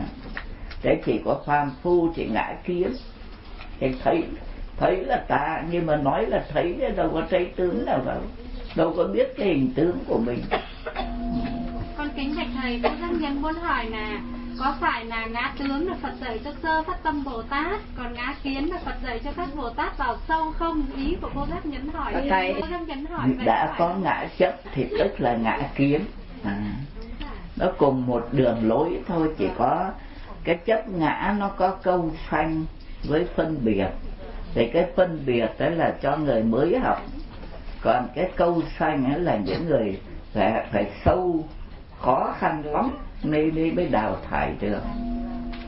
Chị em ai có ý kiến gì nữa xin cứ góp ý. Kính bạch thầy Ờ, có chị em xin thưa là ờ, cái danh hiệu của đức quán thế âm thì rất là nhiệm màu. Vậy thì ờ, nếu mà mình, danh hiệu phật còn nhiệm màu hơn như thế nữa, thì bây giờ mỗi lần thay vì gặp nạn á, mình thay vì mình niệm nam mô cứu khổ cứu nạn quan thế âm bồ tát, thì chị em cứ niệm nam mô di đà phật hoài như vậy, thì có linh ứng và nhiệm màu và được cứu khổ như đức quan âm không ạ. Thì ừ, bởi vì chỉ cái lòng tin về đức quán thế âm, cái cái phúc đức lực của đức quán thế âm với cái duyên của đức quán thế âm với chúng sanh. Cho nên người ta thường niệm cầu cứu. Nhưng mà thực ra theo cái cái cái cái nghĩa chúng ta hiểu theo lý, phần lý, thì đức quán thế âm cũng thành phật. Mà đức di đà cũng thành phật thì dĩ nhiên là hai vị cái khả năng phải bằng nhau. Cho đến đức thích ca tất cả các chư phật cái khả năng phải bằng nhau chứ đâu có ai hơn ai kém. Thế nhưng mà cái duyên phần nhiều chúng ta niệm đức quán thế âm với cái, lòng tin. Còn nếu mà mình cái lòng tin mình mạnh về đức đại thế chí hay đức phật di đà mình cứ niệm cũng linh ứng như thế. Thì đã đành cốt được cái lòng tin cái năng lực đã đành ở nơi chư Phật Bồ Tát, nhưng mà cái chỗ phát tâm của mình dạ, có cảm thì có ứng. Đây là cái cái hào quang của chư Phật. Mà rồi thì tất cả những các rừng cây ao đầm dạ, đều phát ra ánh sáng. Ánh sáng rao rệt như lưới tơ bầu. Thế cho nên đại chúng chưa từng bao giờ thấy cái cảnh này. Chẳng những là loài hữu tình, chẳng những là chư Phật nói Pháp, mà bây giờ rừng cây ao đầm cũng diễn Pháp âm, cũng có ánh sáng rao rệt như lưới tơ bầu thì cô nói tiếp. Dạ. Tất cả đồng chấn kim can tam mùi Tất thời mưa hoa trăm thứ sen báu Xanh vàng đỏ trắng phơi phới tung bay. Mười phương hư không thành sắc bảy báu. Núi sông đất liền thế giới ta bà nhất thời liền ẩn chỉ thấy mười phương vi trần quốc độ hợp thành một cảnh phạm âm, vịnh ca, tự nhiên, phu tấu. Ừ. tức là cõi ta bà của chúng mình thành cõi tịnh độ. Ngay cái lúc ấy, cái thật tướng của cõi ta bà hiển lộ. Chúng ta bây giờ, cái cảnh bây giờ là do cái nghiệp mê muội của chúng mình. Cái nghiệp báo của chúng mình nó hiện ra. Còn đây là là thật tướng của cõi ta bà tức là là cõi tịnh độ. Trên nên cái, cái chẳng những cái con mắt thấy mà cái tai còn nghe những các cái âm thanh nghe. Cảnh giới tịnh độ hiện lên. Đây mới là thật tướng còn cái tướng bây giờ chúng ta trông thấy là cái tướng của nghiệp báo của bọn mình nó hiện lên. Ngay cái lúc này mà Đức Phật trình bày cảnh giới viên thông á là do là do ngài do chư Phật trình bày cảnh giới viên thông mà nhờ thần lực của chư Phật tạm thời cả hội chúng được như vậy hay là khi mà nghe thuyết pháp xong là được như vậy bạch thầy? Được như vậy là còn phải tu phải chứng. Thì mới cái sự thật nó mới hiện ra. Còn bây giờ chúng mình đang đang thấy cái cảnh nghiệp báo của mình. Chúng ta còn phải tu còn phải tỉnh ra thì mới thấy được sự thật. Nhưng mà đây là thật tướng. Cảnh viên thông ừ, còn cứ nói con kính bạch thầy là ở trên á phật phóng hào quang ở diện môn á là phá thức hiển căn. Còn ở đây á, Phật phóng hào quang ở năng pháp để hiển cái gì con kính bạch thầy? Ừ, thầy cũng không biết rõ. Nhưng mà chỉ biết rằng thì là cả đỉnh đầu lại cả năm cả tứ chi thì như vậy là toàn thân. À, cái đỉnh đầu là chủ về sự hoạt động mà chân tay là trên sự việc hoạt động. A di đà phật kính bạch trên thầy. À, theo như chỗ con hiểu ở cái đoạn à, Phật trình bày cảnh viên thông là Đức Phật thích ca với chư Phật mười phương à, phóng hào quang và giao xen lẫn nhau. Như vậy là hiển Phật Phật đạo đồng. Có nghĩa là chư Phật mười phương cũng như là Đức Thích Ca cùng một cái đường lối tu hành là từ căn để đi vào cái viên thông thì con nghĩ là năm thể phóng hào quang, chính là ngày từ căn ngoài phá ờ, không dùng thức, dùng trần mà y vào cái mật nhân bồ đề là ờ, từ căn để chứng viên thông theo như con hiểu là như vậy đó bạch thầy. Dạ. Thầy cũng không biết rõ, bởi vì nếu mà từ căn thì tại sao ngài lại phóng ở tay với chân nếu lấy từ căn thì phải từ cả sáu căn cho nên cái việc này thầy không biết rõ. Chưa không thấy các tổ giảng cho nên mình không biết. Hay là ý thầy chỉ thấy là cái đầu với lại cái đầu là chủ của các các hoạt động là phải nhờ cái đầu. Mà tay với chân ấy, thì là các sự việc hoạt động là ở tay chân cái phần lý phần sự của cái việc hoạt động của cái hoạt động của người ta là ở cái đầu cái tay chân nhưng mà cái nghĩa thật thì không thấy các tổ nói cho nên mình không có dám quả quyết à. ý nêu là toàn vọng tức chân ở chỗ này phải không thầy ừ. chỉ nêu toàn cái thân hư vọng này của mình nó chính là cái phật là là có tánh phật đó thầy nhưng mà đây chỉ có đầu với chân tay. Còn đầu thì tức là tất cả mắt tai mũi lưỡi. À, có nhẽ cũng đúng. Ừ. Cái đầu là tất cả mắt tai mũi lưỡi. Cả sáu căn. Ừ, đủ cả sáu căn. Phật bảo văn thù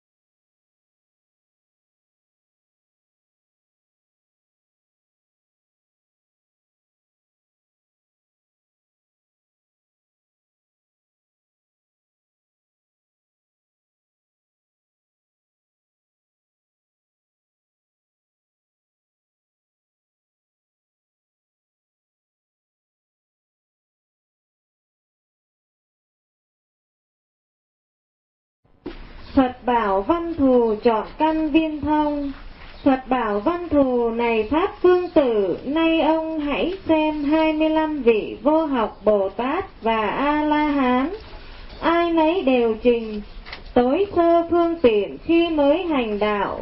Các ngài tu hành quả tình, không ai có hơn có kém, vì sao? Cái tánh viên thông thì đồng nhau. Con nói tiếp, không có sai biệt khác nhau. Phương tiện mà sao đây lại nói là không có sai biệt khác nhau.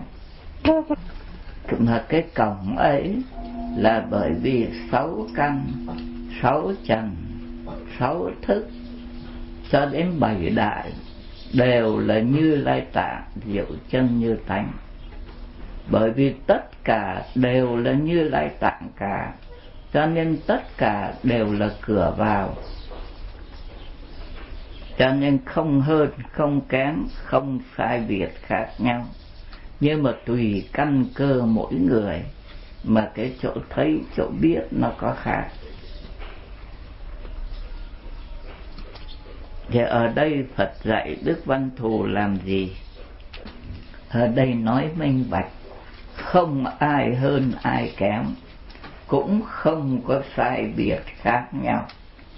Nhưng mà chọn đây là cái cái cái pháp môn nào nó hợp với căn cơ chúng sanh ở cõi ta bà? Cái căn mắt, cái căn mũi, nó nhiều cái tội chướng, cho nên nó chưa đủ, nó không đủ. Để cõi ta bà chúng ta như ở trên đã có học rồi thì chỉ có cái căn tai nó đủ một ngàn hai trăm công đức. À. Vợ phần ấy, thì là cái căn tai được chọn là đủ một, một ngàn hai trăm công đức. Phần ấy, thì đức quán thế âm đích thân ngài đã tu đã kinh nghiệm để cho thấy cái pháp môn này dễ tu dễ chứng hơn cả. À. tuy rằng không pháp không có các hai mươi nhăm vị thánh, không ai hơn kém, mà cũng không sai biệt khác nhau. Thế nhưng mà căn cơ chúng ta thì cho nên đức đức phật dạy chúng mình chọn ở trên, đã thấy cái căn tai là đủ một ngàn hai trăm công đức rồi đức quán thế âm lại trình bày cái kinh nghiệm tu hành thật sự là cái pháp môn này lợi ích hơn cả, hợp với căn cơ chúng ta hơn cả. Con kính bạch thầy cho con thưa là như đức phật thích ca ngài dạy ngài văn thù là chọn căn nào hợp cho ngài a nan. Và sau khi phật niết bàn thì chúng sanh vào bồ tát thừa thì nên dùng pháp nào? Cho dễ thành tựu. Thì à, ngài văn thù ngài chọn nhĩ căn của đức quán thế âm bởi vì nó khế lý khế cơ và nó đủ ba đức viên thông thường cho nên ngài văn thù ngài chọn nhưng mà như con học vừa rồi cái bài qua âm của anh trường á thì con thấy là đức quán thế âm á thì à, có khế lý nhưng mà về cái phần tự lợi thì con thấy không có được khế cơ là bởi vì như như um, như thì vậy á, là khế khế cơ mà về cái phần tự lợi á thì chúng sanh nó khổ nó cầu cứu thì ngài đáp ứng được cái chỗ mong cầu của chúng sanh cho nên nó khế cơ. Nhưng mà mà cái đó là về phần tự lợi lợi tha. Còn về cái phần tự lợi á thì um, ngài văn thù ngài chọn thì con thấy chỉ hợp với căn cơ của ngài a nan thời phật thôi.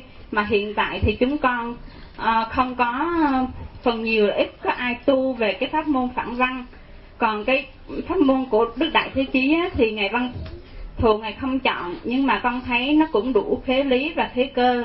Bởi vì khế lý là con nghe cái câu nam mô a di đà phật thì như thầy dạy đó là con đang trở về con nghe cái tánh nghe của con là khế lý. Mà khế cơ là bây giờ nhiều người tu cái pháp môn của đức đại thế chí mà rõ ràng là khi mà Ờ, đức ờ, đại thế chí này đứng lên là trình bày viên thông á, thì ngài với 52 vị đại bồ tát nữa đứng lên trình bày. Thì rõ ràng cái pháp môn này nó thế cơ hơn, thì sao mà Đức Văn Thù ngài không chọn con kính bạch thầy. Dạ, tức là cũng là dùng vào cái tánh nghe, nhưng mà đây khởi cái niệm. Bởi vì niệm thì nó không có viên thông. Đấy, cho cái niệm là cái lối vào thôi cho nên cái đường đi của đức đại thế chí, nó có cái quanh co. Tuy rằng đã dùng đến danh hiệu thì tức là cũng là tánh nghe, cũng là nghe cái danh hiệu đã dùng đến danh. Danh hiệu tức là cái âm thanh, thì tức là mình cũng trở về cái tánh nghe. Thế nhưng mà phải dùng phải dùng đến niệm thế còn đức quán thế âm thì ngài vào thẳng. Cho nên ngay cái lúc tu nhân này ngài đã viên thông rồi. Thế như thế nó hợp với cái cái cái ý kinh lăng nghiêm hơn. Dạ. thế còn chúng mình thì bởi vì quen niệm cho nên đức đại thế chí ngài dùng cái niệm để hợp lòng người chứ không phải là nói là hợp căn cơ nhưng mà hợp với cái tâm con người hợp với cái sở thích hợp với cái thói quen của mình là mình quen niệm rồi. Ừ. con kính với thầy thì cho con thưa là tại vì con thấy à, đức à, đức bổn sư ngài dạy ngài văn thù là chọn căn nào hợp cho a nan. Và sau khi phật niết bàn á, thì chúng sanh vào bồ tát thừa thì nên nhưng dùng mà pháp chọn nào? căn viên thông. Dạ. Nhưng mà chọn căn viên thông chứ không phải là chọn cái ý thích của mọi người yeah. Dạ. hai cái nó khác nhau thế cho nên đức quán thế âm ngài tu vào cái căn tài và nó là viên thông ngay cái nhân địa nó đã viên thông rồi nhưng mà phật bảo ngài chọn là để cho chúng sanh làm cái nhân tu làm cái nhân tu nhưng mà chọn căn viên thông yeah. Dạ. còn thằng này là cứ như cô nói là nó vượt hợp với cái cái cái cái thói quen của thế gian là nó dùng cái niệm. Ừ. cái niệm nó không viên thông cho nên đức văn thù người không chọn. Sao chẳng mặt thầy cũng xin đọc bài. Sáu trần vọng tưởng kết lại thành sắc trần. Hay biết không thể thông suốt được làm sao dùng nhân không giác biết để tu hành cầu tánh nguyên thông? Tu về sắc chân dạ. Yeah. nó là cái gì? Nó là vọng tưởng kết lại mà thành. Tưởng chừng thành quốc độ. Suy ám mà kết thành sắc thế cho thế cho nên cái sắc chân này nó là vọng tưởng kết lại. Thế nào là hay biết không thể sống thông suốt được. Trần ấy, nó đã là suy ám đã kết. Cái đống đất đặc xịt. Đấy, tưởng chừng. Cái tư tưởng nó chừng lặng lại. Cho nên nó là suy ám cho nên cái hay cái biết cái cái tánh giác ấy, không có thông suốt tức là nó bị si ám nó kết lại.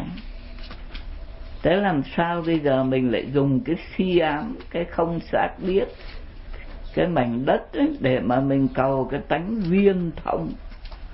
Cho nên khó lắm. Tu và sắc trần khó lắm. Con nói tiếp.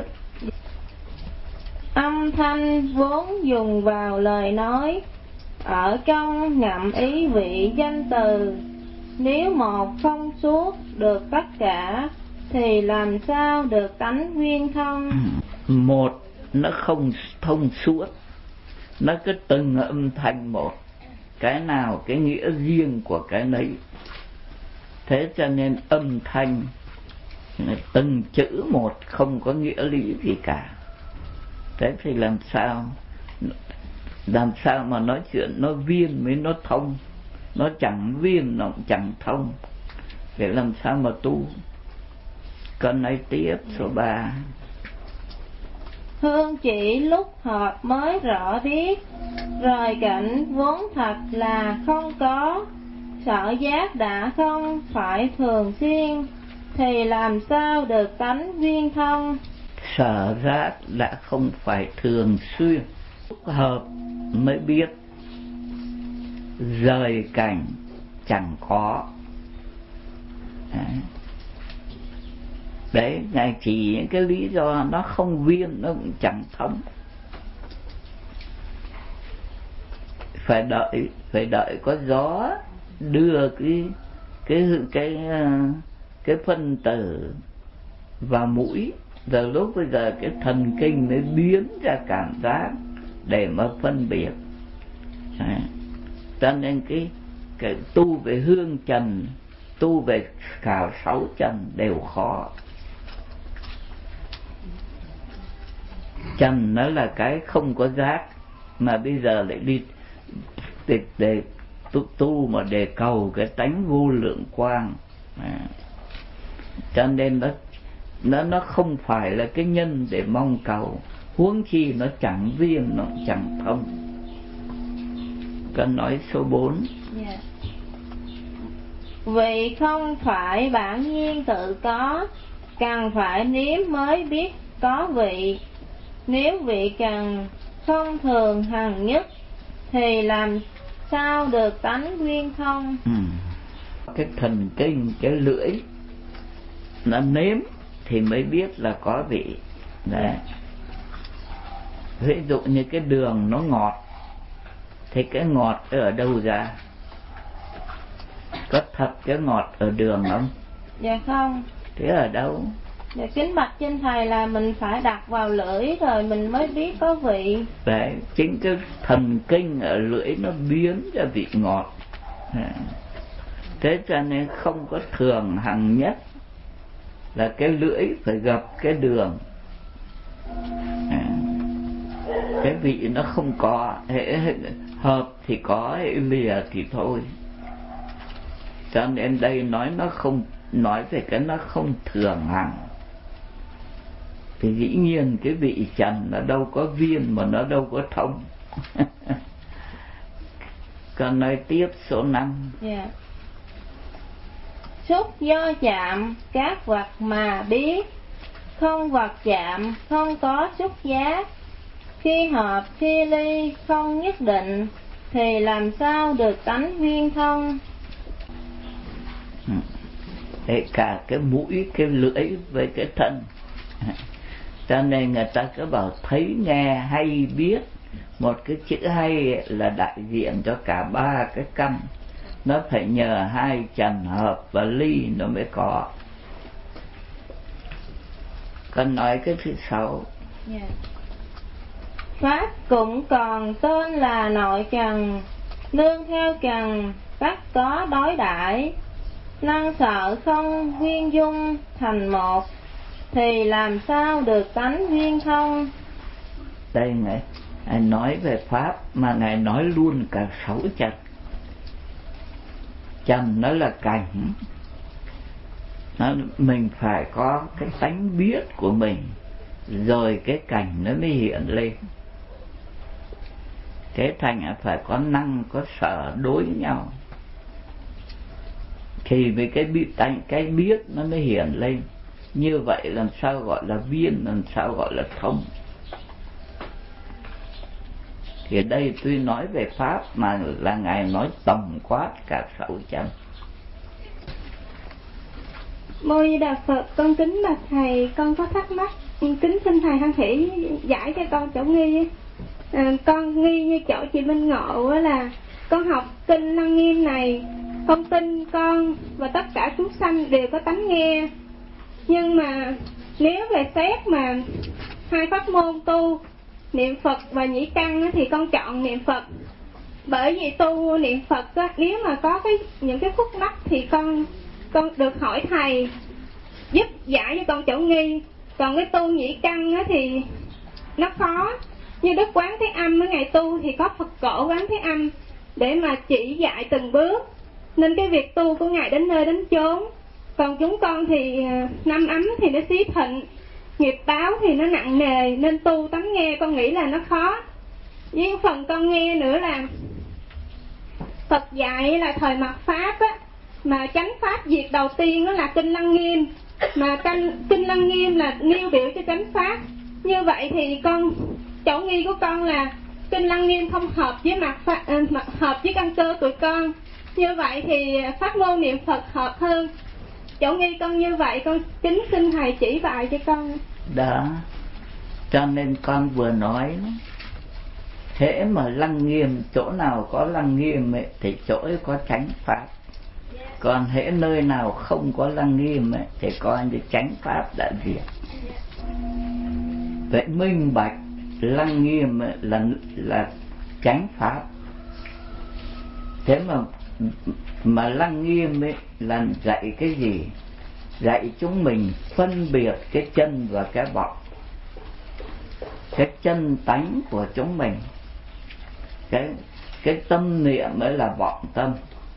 Còn cái chân tánh của chúng mình là tánh nghe, tánh thấy, cái kiến tinh, cái căn bản bồ đề à, vậy thì nơi chánh pháp dạy chúng mình trở về cái chân tánh. Thế nơi nào mà sống với vọng tâm thì đó không phải là chánh pháp.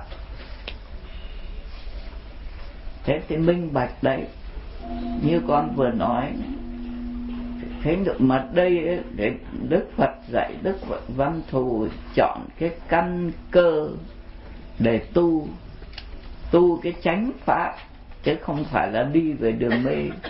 Còn cái niệm ấy, cái cái cái là đức đại thế chí bồ tát, ngài phương tiện.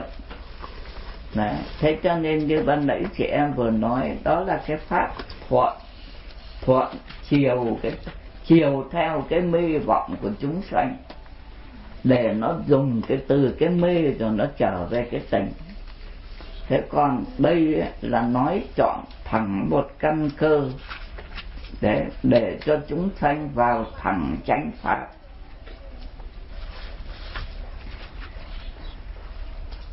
thế cho nên đức quan, vì vậy đức đại thế chí, ngài ma lanh, ngài dùng dùng cái niệm để cho cho thuận chiều với chúng sanh mà đưa nó về cái tánh nghe. Mà vẫn đưa nó về chánh pháp. Thế nhưng mà còn phải dùng phương tiện đi vòng ở bên ngoài. Cần dùng từ nhiều niệm rồi dồn về một niệm.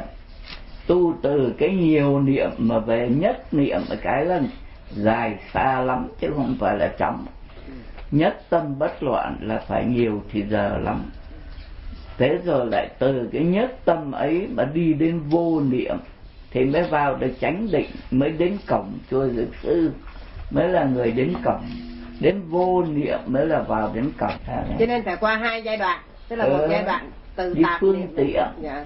đi vòng dạ. rồi mới tới mới dạ. tới cái căn mới đến cổng dạ. vô niệm và trở về chân tánh dạ.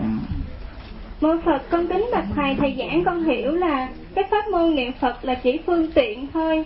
Mình dùng cái niệm đó mình tu dần dần để mình Đúng bớt cái niệm để mình trở về cái vô niệm. Ừ. rồi từ từ mình mới trở về cái tánh viên thông của mình. Ừ. nhưng mà con có cảm giác tuy mình đi chậm như vậy nó chắc ăn hơn là cái tánh nghe của mình. Thì nghĩa là con đi cái quãng đường con phải có cái phương tiện để dẫn con về cổng về đến cổng rồi mới vào chùa thế đằng, đằng này đức quán thêm ngài đứng ngay tại cổng ngài vào thẳng yeah. Dạ. khỏi đi bà thầy như vậy là um, so với chúng sanh thì à, hợp với căn cơ chúng sanh là cái tánh nghe nhưng mà khi học khi khi học để mà biết mà tu thì con thấy là um, ít có ai nhận và và và trực tu cái tánh nghe này chỉ là chọn cái phương pháp niệm phật thôi thì tại sao mà Phật bảo là hợp với căn cơ thời mật pháp, kính bạch thầy? Thì đã nói là cái pháp niệm Phật là phương tiện. Dùng niệm là phương tiện, chứ không không phải là vào thẳng. Còn đằng này từ cái tánh nghe, người ta vào thẳng cái bản giác nó dễ. Còn mình lại còn phương tiện mà phương tiện cho cô niệm cho đến ngày nhất tâm bất loạn cô mới tới cái cổng Nam mô Di Đà Phật, con kính bạch thầy thì cho con thưa Ừ. là ờ, như ngày hôm qua học á thì Ừ, Đức Quán Thế Âm ngài cũng nói á, là khi mà mình tu phản văn á thì phải có một bậc thầy đã có tu có chứng. Mà hồi nãy thầy nhắc con là tại vì cô không có chịu tu. Mà bây giờ ví dụ như con muốn tu nhưng mà không có bậc thầy đã tu đã chứng thì con biết đường đâu mà con tu con kính là thầy. Thế nhưng mà đấy cái chuyện cô không có thầy là vì chị, cô không có duyên chưa có duyên. Bây giờ có nhất tâm cô sám hối cái tội của cô thì rồi sẽ gặp thầy bởi vì thầy mình đang có mặt ở khắp hư không đây. Chỉ bởi vì cái khả năng mình chưa tới cho nên các ngài có, không chưa hiện ra cái thôi. Nhưng mà ở đây là bàn về cái chỗ đức văn thù người chọn. Căn cơ đấy chứ cái căn cơ nào nghĩa là sao trong trong tất cả các pháp môn ở đây cái pháp, pháp môn nào cái căn cơ nào hợp nhất thì đức đại thế chí ngài dạy tu về niệm phật đấy. Rồi ngài tu về kiến giải dạ. ngài, ngài tu về kiến giải à. thế thì thì- nhưng mà bởi vì ngài dùng cái niệm mà chính cái niệm mà nó không viên nó không thông cho nên đức văn thù ngài không chọn được đây ngài nói minh bạch cái lý do thì chúng ta cứ học từ đầu đến đuôi nhận là ngài nói Kính bạch thầy, Ừ. con thỉnh thầy ở trang 188 nhưng con thưa một câu ạ. một Con kính bạch thầy ở trong này có câu gọi là bể giác tánh trừng viên. Như là cái tánh giác trừng viên của con nó được dụ chiêu mặt biển. Là bởi vì mặt biển nó có hai ý. Cái thứ nhất là nó rộng không bờ và cái thứ hai là nó cái chiều sâu của nó không có đáy. Thì tánh không có đáy ạ. Thì cái tánh giác của con á, nó được dù cho biển, nó rộng không bờ là bởi vì cái tánh giác nó mênh mông ở khắp pháp giới và nó bao hàm cả vạn pháp. Thì cái ý đấy con hiểu. Nhưng mà còn cái sâu không đáy của biển mà dù với tánh giác thì con cung thỉnh thầy chỉ cho con được rõ ạ. cái đáy nó cũng là chỉ là cái bờ bên chị bề cao và bề bề bề sâu. Thì nó nói về cái chuyện nó không cùng không tận. Cùng cái nghĩa của nó nghĩa là mông mênh bát ngát. Chứ thật ra cái biển nó có đáy và nó có bờ. Thế nhưng mà đây là ý muốn dùng cái nghĩa là mông mênh các con thưa vậy như cái pháp môn phản văn của mình đó bà thầy. Ừ. với cái pháp môn niệm phật á thì bây giờ bây giờ mình thay vì mình sợ đức văn thù chê mình cái khởi niệm là là không viên thông thì bây giờ mình không khởi niệm mà mình chỉ mở máy niệm phật là mình nghe thôi. Vậy có được không ạ? Để cô an định vào cái tánh tánh Phật của cô. Cái điểm thứ nhất là cô phải nhận được cái tánh Phật của mình dạ. Rồi mình an định vào sống với cái tánh Phật ấy. Đấy. Dạ. Công việc giản dị có vậy thôi. Thì cô muốn vào bằng cái nghe cái thấy cái người cái nếm tùy ý cái nào được. Nhưng mà cần nhất là nhận được cái tánh. Mô Di Đà Phật. Mô Di Đà Phật kính bạch trên thầy cho con thưa là như Ngài Văn Thù thì Ngài chọn cái pháp viên thông Tức là chọn cái căn tay để cho thời mạt pháp gọi ta bà tu. Thời mạt pháp tức là thời mà chúng sanh nó, nó thiếu phước Thì phải chọn cái pháp dễ tu. Nhưng mà như con thấy là bây giờ pháp môn niệm Phật thì khắp khắp thế giới đó là những người Phật tử tại gia mà người ta niệm Phật người ta thành tâm thì đều được vãng sanh cõi Phật tức là một đời này giải thoát sanh tử. Còn cái pháp mà pháp viên thông là chọn canh tay kính thưa thầy. Thì bây giờ là thấy ngay trong hàng xuất gia là kiếm được một người tu thành công trong pháp này hiện đời cũng không có. Thì tại sao ngài Văn Thù ngài nói là nó lợi ích cho cái thời bây giờ? Như con vừa nói đó, cái pháp niệm Phật mục đích để vãng sanh. Mục đích cái chuyện niệm Phật rồi vãng sanh rồi về bên cõi Phật rồi mới nói chuyện tu đắc hay không cả đó là chuyện khác. Còn bây giờ đây không phải chọn cái pháp môn vãng sanh mà là chọn cái pháp môn uh, pháp, viên thông. Tức là ngay đời này thành phật luôn hả? Ừ. viên thông là ngay đời này nếu mà mình tu là mình chứng luôn không mình... đấy. Thế để vào thẳng cái pháp pháp môn nào để cho mình được cái tánh viên thông chứ không nói cái chuyện đi vãng sanh. Chọn lấy nhị căn viên thông hợp với giáo thể cõi ta bà. Con nay bạch thế tôn phật giáng cõi ta bà. Phương này chân giáo thể thanh tịnh tại âm văn muốn nhập vào chánh định thật phải do tánh nghe. Cả sáu căn kính sáu thầy trần sáu thức bảy đại. Ngài không chọn thứ nào. Bây giờ ngài chọn cái nhĩ căn viên thông. Dạ. Giờ ngài nói lý do con cứ đọc đây rồi con nhận nghĩa từng câu. Dạ. Thế nào gọi là giáo thể? Chẳng cứ giáo pháp. Bố mẹ dạy con từ bé nó mới sinh ra. Bố mẹ dạy con đấy cũng dùng cái âm thanh để cho cái đứa con nó nghe. Các trường học và các thầy giáo đều dùng cái âm thanh để cho học trò nó nghe. Đấy cái phương này chân thật cái thể của cái giáo dục ấy, cái thể chất dùng để mà giáo dục là thanh tịnh ở âm và văn. Dùng cái âm thanh để cho người ta nghe. Một đôi âm và văn. Thế là là giáo thể. Thế cho nên đức phật cũng thuận theo cái cái căn cơ của cõi này mà phật cũng nói giảng kinh để cho nó nghe. Xưng tán quán âm, lìa khổ được giải thoát, hay thay quán thế âm trong hằng hà xa kiếp vào vi trần cõi phật được lực đại tự tại khắp bá thí an vui. Ngài phân thân đi khắp thế giới và cả pháp giới chỗ nào cũng có mặt ngài cả. Ngài vào vi trần cõi phật à, để cứu khổ ban vui cho chúng sanh. Cho nên mới khen ngài là hay thấy. Ừ rượu rượu là tài giỏi lắm. Đấy, một người đáng lẽ người ta vào địa ngục.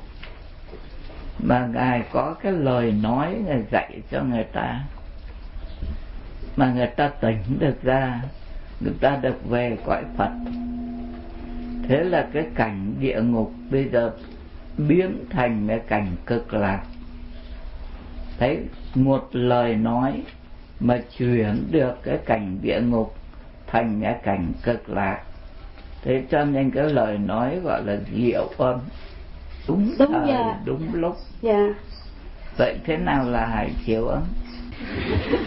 Hải chiều tức là cái âm thanh đúng thời đúng lúc. Để giáo hóa cho chúng sanh với cái đứa nó sân giận thì dạy cái gì với cái đứa nó tham lam thì dạy cái gì? Đó từng người từng việc đúng thời đúng lúc để lợi ích cho chúng sanh. Tiếp. Phải là cứu thế tất an ninh sức thế được thường trụ. Thế ra nó đủ các thứ khổ thì nó cầu cứu thì ngài cứu vớt. Bị nước lũ thì ngài cứu cho khỏi chết đuối bị nhà cháy, thì ngài chết, cứu cho khỏi chết cháy. Ốm đau thì ngài cứu cho được mạnh khỏe. Đấy. tất cả các thứ tai nạn cho nên cứu cho thế gian được bình an an ninh, tức là yên ổn. Thế còn người muốn cầu xuất thế đó, ra khỏi cái thế gian, thì ngài dạy cho tu pháp vô sanh bất diệt, không có vào sanh tử nữa. Nghĩa là ngài cứu cả những người ở thế gian và cả những người cầu xuất thế gian. Phương tán nhĩ căn, con nay bạch như lai, như quán thế âm nói thí như người an tịnh, mười phương cùng đánh trống mười chỗ nhất tề nghe đây là viên chân thật. Ăn tai Dạ. của đức quán thế âm ngày tu đó. Dạ. Thế thì bây giờ xưng tán khen ngợi cái căn cái căn tai này thật là là đúng là cái nhân tu để viên thông. Vậy con nhận đi hay trả tịnh mười phương đánh trống có nghe không?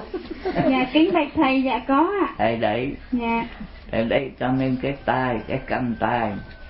Đằng trước đánh trống người ta cũng nghe. Đằng sau đánh trống người ta cũng nghe. Dạ. Thế cho nên cái căn tai nó viêm. Dạ. Tiếp. Dạ. Kính thầy thầy con xin đọc tiếp.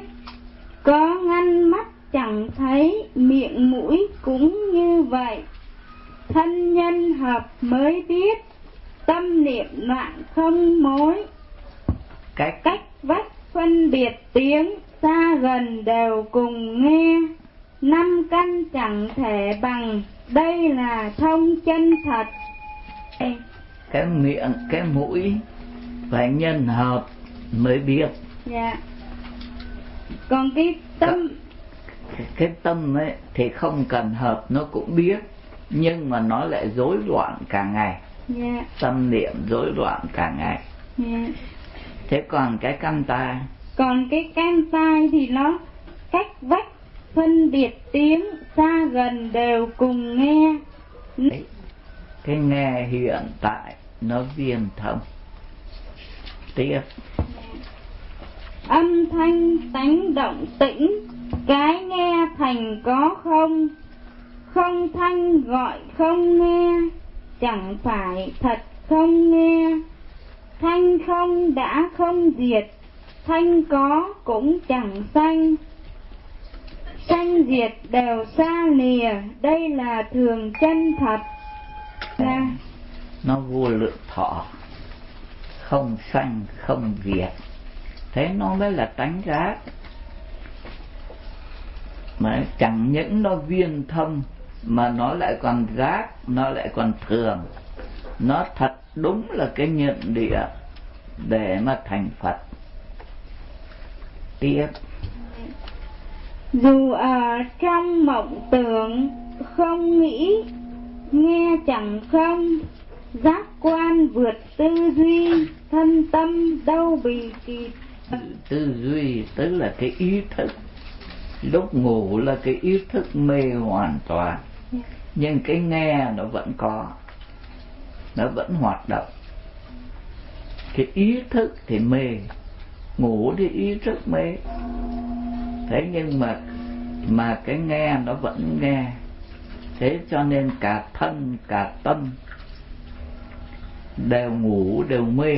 Mà cái cái nghe nó vẫn linh, nó vẫn sáng. Ông văn thù ông cho cái lý do vì sao ông ấy chọn cái nhĩ căn?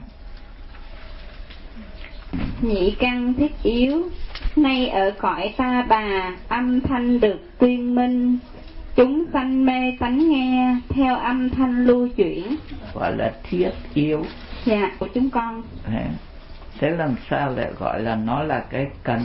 Cái cái cái bây giờ nói về cái chọn cái căn viên thông để tu thì sao nói cái nghe nó cần thiết? Dạ. Cái cần thiết cái cốt yếu cốt yếu là bởi vì nó đủ cả ba. Chẳng những nó là vừa là tánh giác nó vừa là chân thường nó lại viên thông nó nó đủ hết cái cái cái các cái cái sự cần yếu. À. con nói tiếp. Dạ. Nay ở cõi ta bà âm thanh được tuyên minh. Dạ. Cái nghe chứ không phải cái tai. Dạ. Mà nói về cái nghe. Ừ.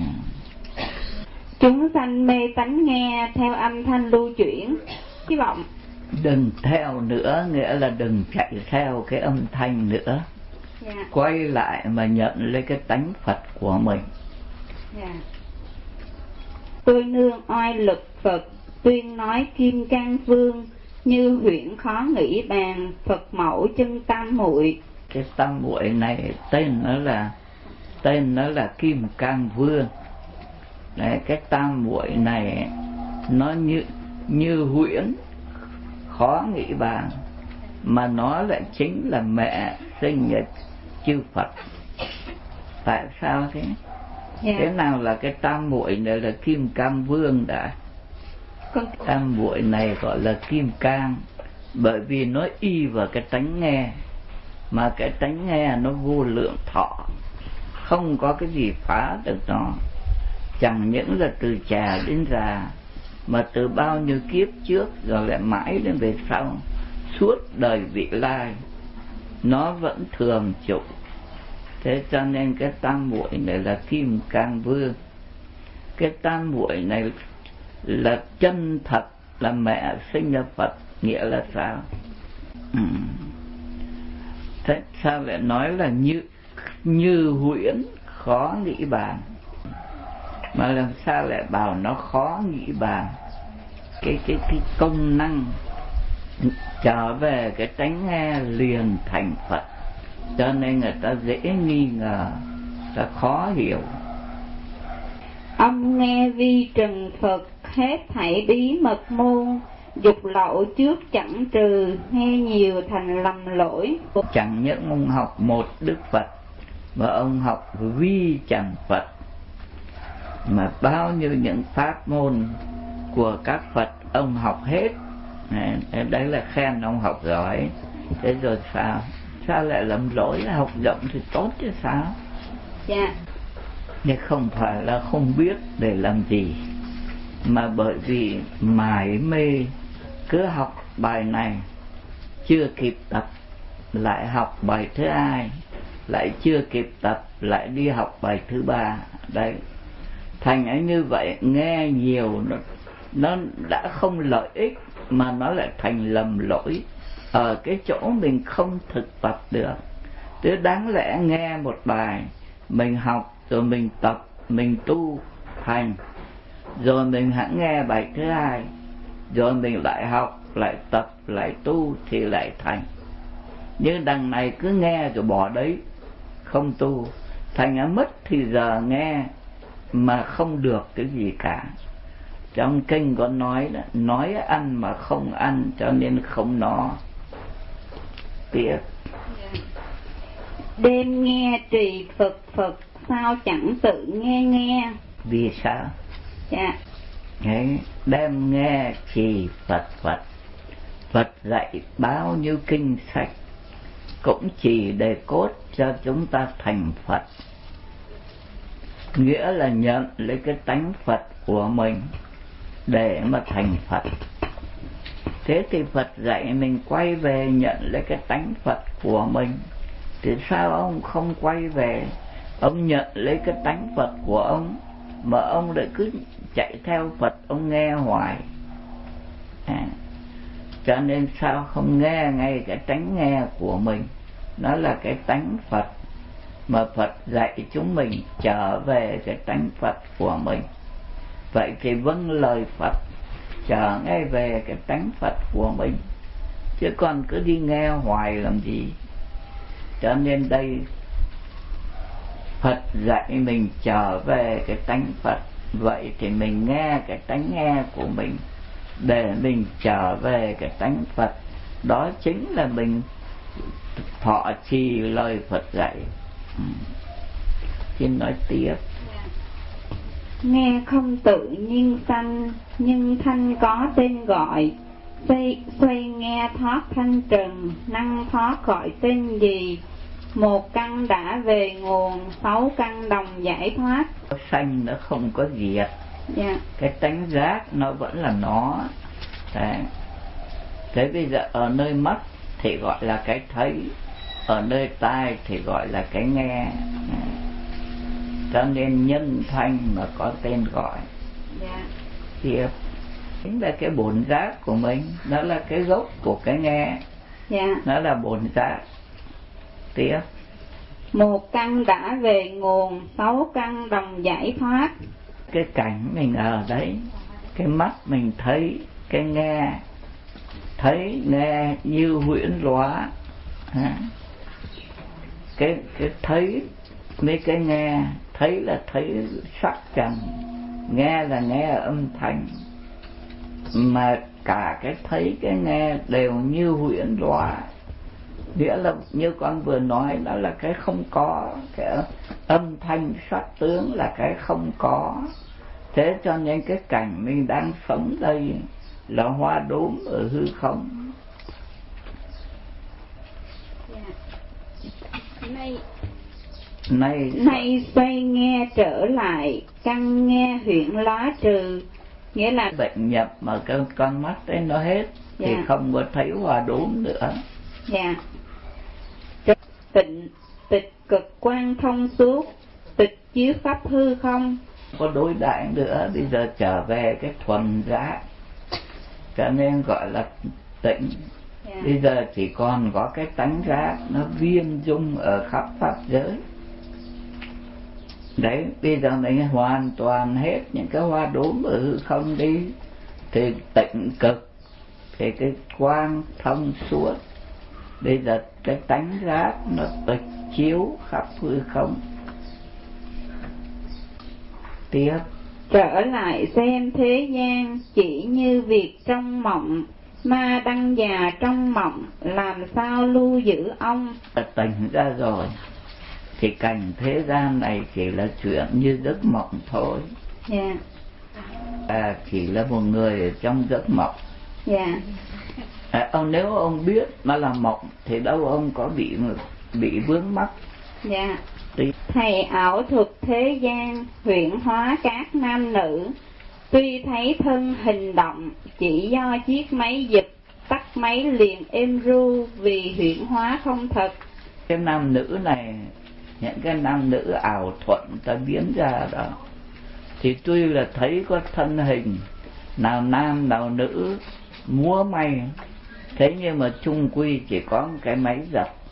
Để người ta giật một cái thì nó nó hoạt động.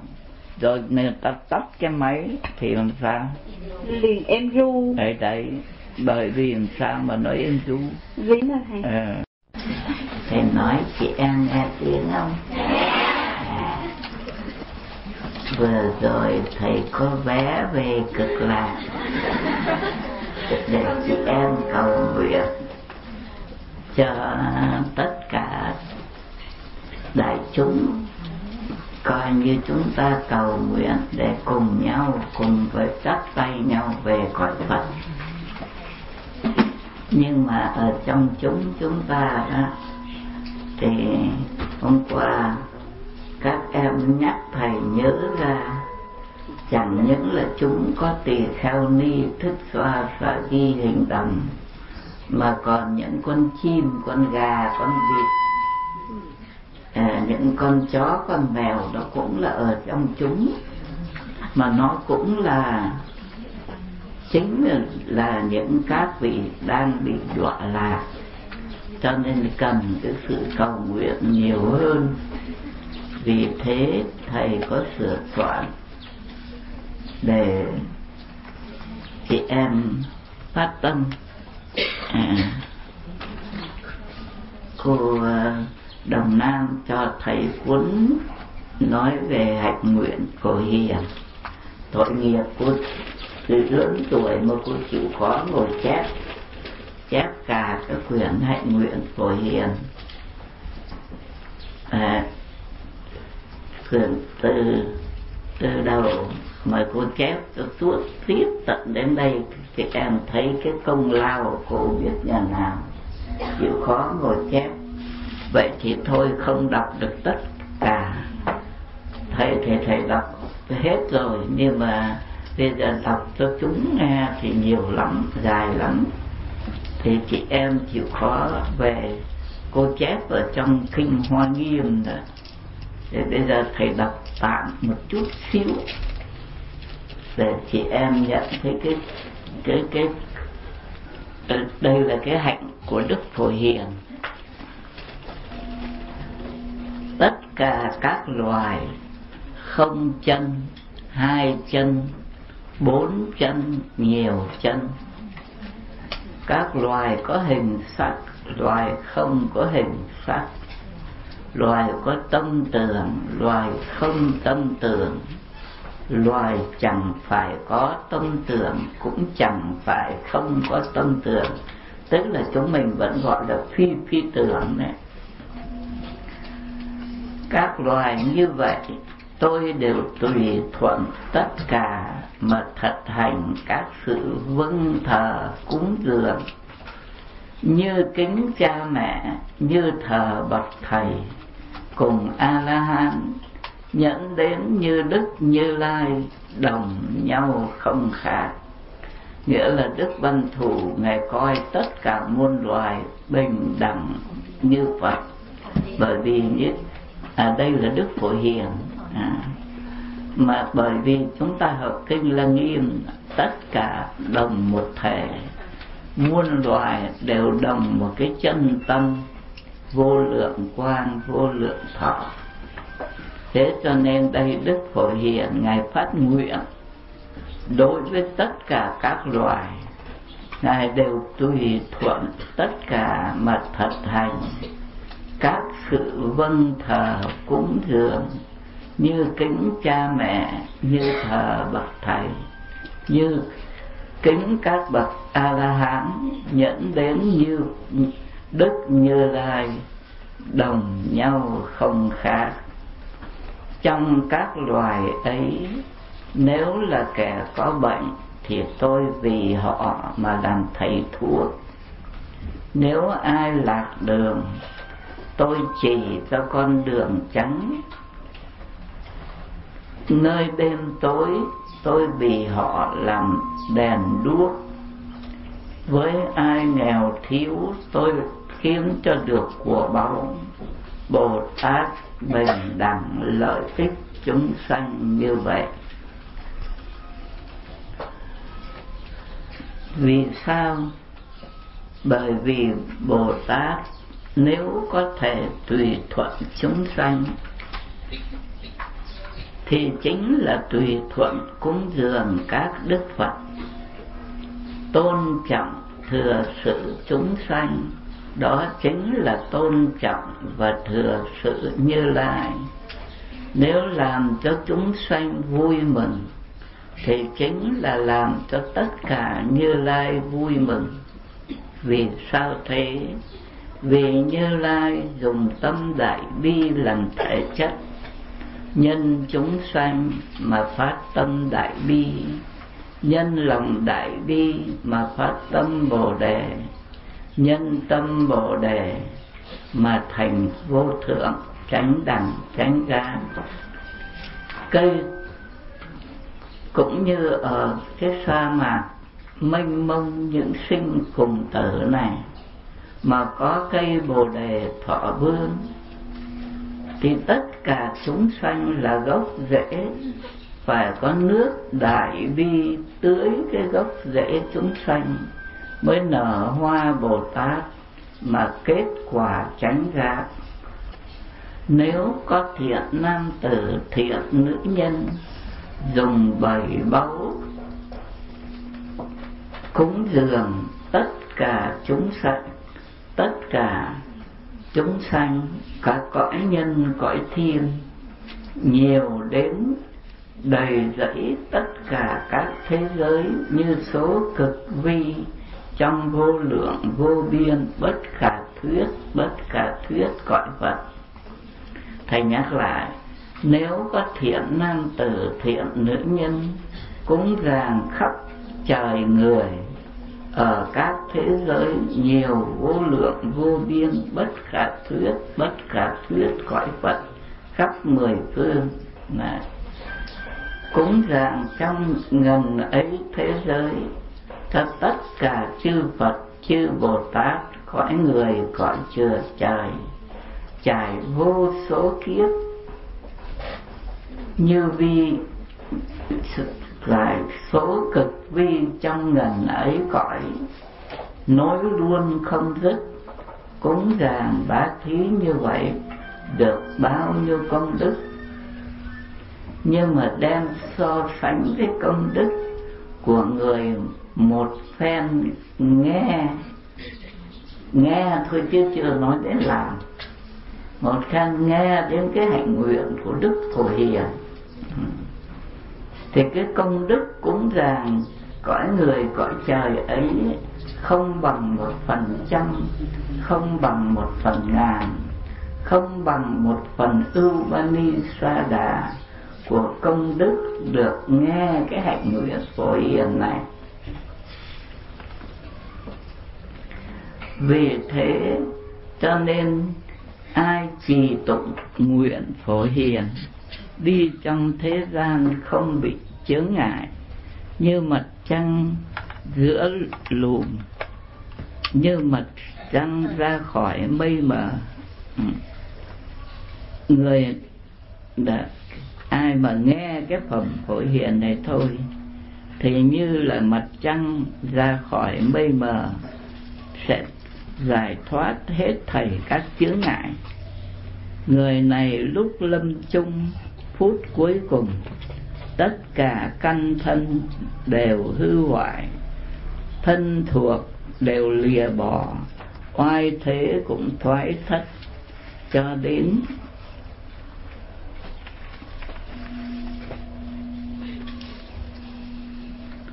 Cho cho đến à,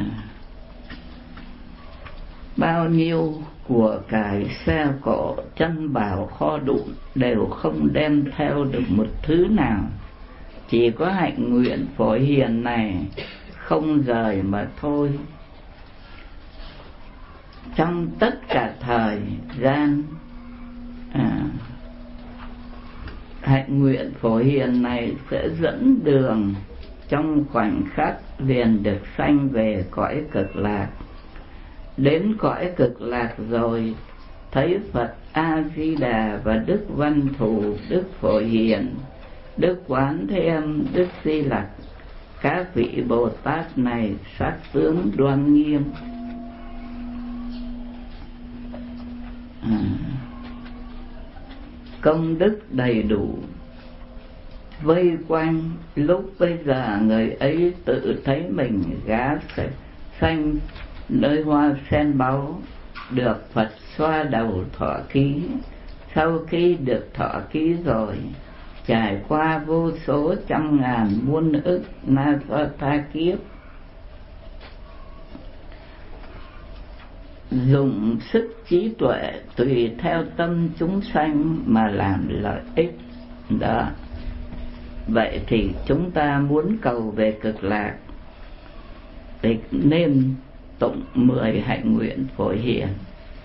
Mà trong mười hạnh nguyện phổ hiền này thì có cái, cái nguyện là bình đẳng lợi ích tất cả chúng sanh. Trên tổng quát lại mười nguyện là trên thì thờ Phật dưới thì độ tất cả chúng sanh. Bình đẳng loài hai chân loài không chân loài nhiều chân à, đối với tất cả chúng sanh, thương xót. Không những là thương xót, mà thấy cái thể tánh nó bình đẳng với Phật. Cho nên mình cung kính Phật thế nào, thì cung kính tất cả chúng sanh cũng thế, mà tận tình làm lợi ích. Thật ra, chị em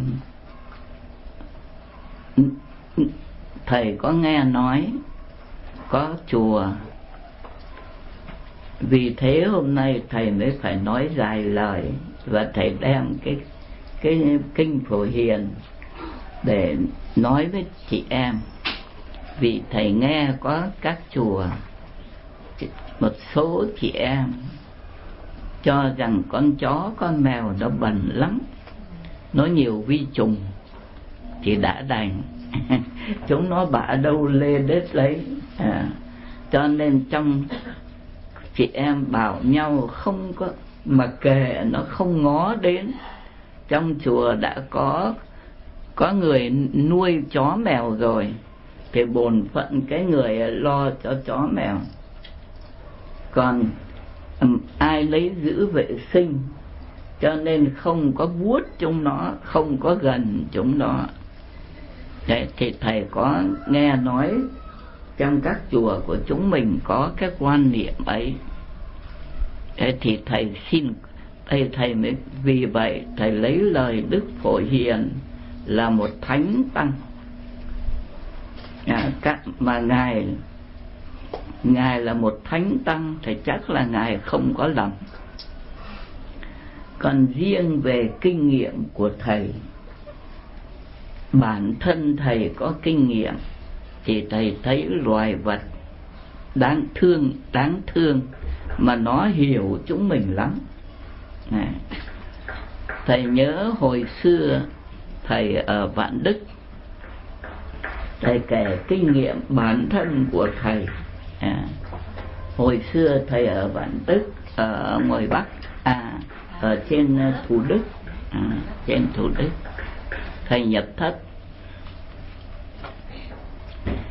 Thì cái thất của thầy ở đằng ở cửa ra vào có một cái vườn nhỏ để cho thầy hàng ngày thầy đi kinh hành ở trong vườn đó. Thì cái bà chủ thất đó, bà làm cái thất bà cẩn thận bà làm cho thêm một cái vườn như vậy để đi đi kinh hành cho nó có thoáng khí thế mà hôm, bỗng nhiên thầy thấy sâu gióm, con sâu gióm đối với chúng mình rất là xa cách Đã. thầy thấy con sâu gióm không biết nó ở đâu về, mà nó về, mà con, mỗi một con nó dài thế này này, mà cái lông nó dài, mà nó màu con thì màu trắng, con thì màu đỏ, con thì màu xanh bởi vì những sâu gióm nó biến ra con con bướm. Nó mọc cánh nó thành bướm. Thế cho nên nó trong cái lúc nó làm con sâu đó à, nó có cái, cái lông nó thật dài à, mà nó dài chính mỗi một con dài như thế này. Mà không biết ở đâu về bỗng nhiên nó về đây cả vườn. Mà không biết ở đâu nó về mà thầy bỗng nhiên hôm ấy thầy ra thầy nhìn thấy vườn là đấy sâu gió mà thầy sợ sâu gióm cho nên thầy cứ nơm nớp, thầy lo. Cả ngày thầy thầy không muốn để tâm, nhưng mà nó cứ sợ sợ. Chỉ sợ nó chạy, nó vào phòng mình. Mà có đến hàng bao nhiêu vạn con đầy cả vườn, mà không có một con nào vào phòng thầy cả không có một con nào nó ở nó ở đến đến mấy ngày.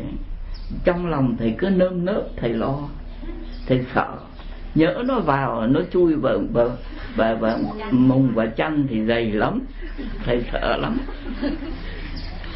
Thế thì bỗng nhiên, nghĩa là như thế đến đến hơn một hôm, gần hai ngày, sang ngày hôm sau, thì thầy cứ sợ sợ thế nửa đêm thầy dậy thầy bật đèn để thầy ngó. Thế, ờ, có có đứa nào nó vào trong trong phòng không? Thì thầy thấy đang đêm mà nó đi thành hàng. Nó cứ hàng đôi một nó đi ngay trước cái cái cái thềm ở ngay trước cửa chỗ thầy. Thầy cái con đường thầy vẫn đi trên hành đó. Nó đi cứ nó đi thẳng ra cổng mà nó cứ lũ lượt, mà nó cứ hàng đôi một cái hai con một, hai con một, đi xếp hàng. Mà cứ đi như thế lũ lượt lũ lượt, nó đi. Đến sáng ngày hôm sau, không còn một con nào ở ở trong vườn của thầy cả. Thế thì cái kỷ luật, nó phải bảo nhau nó phải có, nó phải con, có con con lớn, con nhỏ, nó cũng phải có kỷ luật thế nào. Nó mới bảo nhau được như thế chứ. Không có một con nào đi chạch hàng ra ngoài cả. Hàng nó đi thẳng, hàng đôi. Mà cứ như thế lũ lượt mà đi suốt đêm, đi cho hết cái đám mới không còn. Đến sáng hôm sau không còn một con nào cả. Đấy. Mà cũng bởi vì chắc là biết là thầy sợ nó nó có cái khôn ngoan nó còn hơn chúng mình chúng mình xếp hàng đâu có đều được như nó ừ. mà ai dạy ai bảo ừ. nó phải có một cái gì có một cái con đầu đàn và những có những cái con để kỷ luật chứ chúng mình bây giờ công an uh, ờ, các thứ đó người ta là thực không bằng nó. Thầy thấy cái kỷ luật của nó nó không có một con nào chạy ra ngoài. Mà như thế là một ngày, một đêm, mà không có một con nào vào trong phòng của thầy cả. Nó đi theo kỷ luật của nó nó vâng theo một cái cái cái đường lối của nó. Như vậy thì nó rõ ràng nói về cái tinh thần kỷ luật nó hơn chúng mình rõ ràng. Chứ bây giờ chúng đây mà cho ùa vào một cái chỗ nào là phải biết om sòm cái tinh thần kỷ luật như vậy là nó nó có cái cái, cái hiểu biết của nó không phải tầm thường. Đấy là nói chuyện con sâu gióm cái hồi thầy ở vạn đức. Còn thầy về đây thầy ở trong thầy cũng nhập thất ở trong linh quan thì chuột ơi là chuột. Chuột nhiều lắm.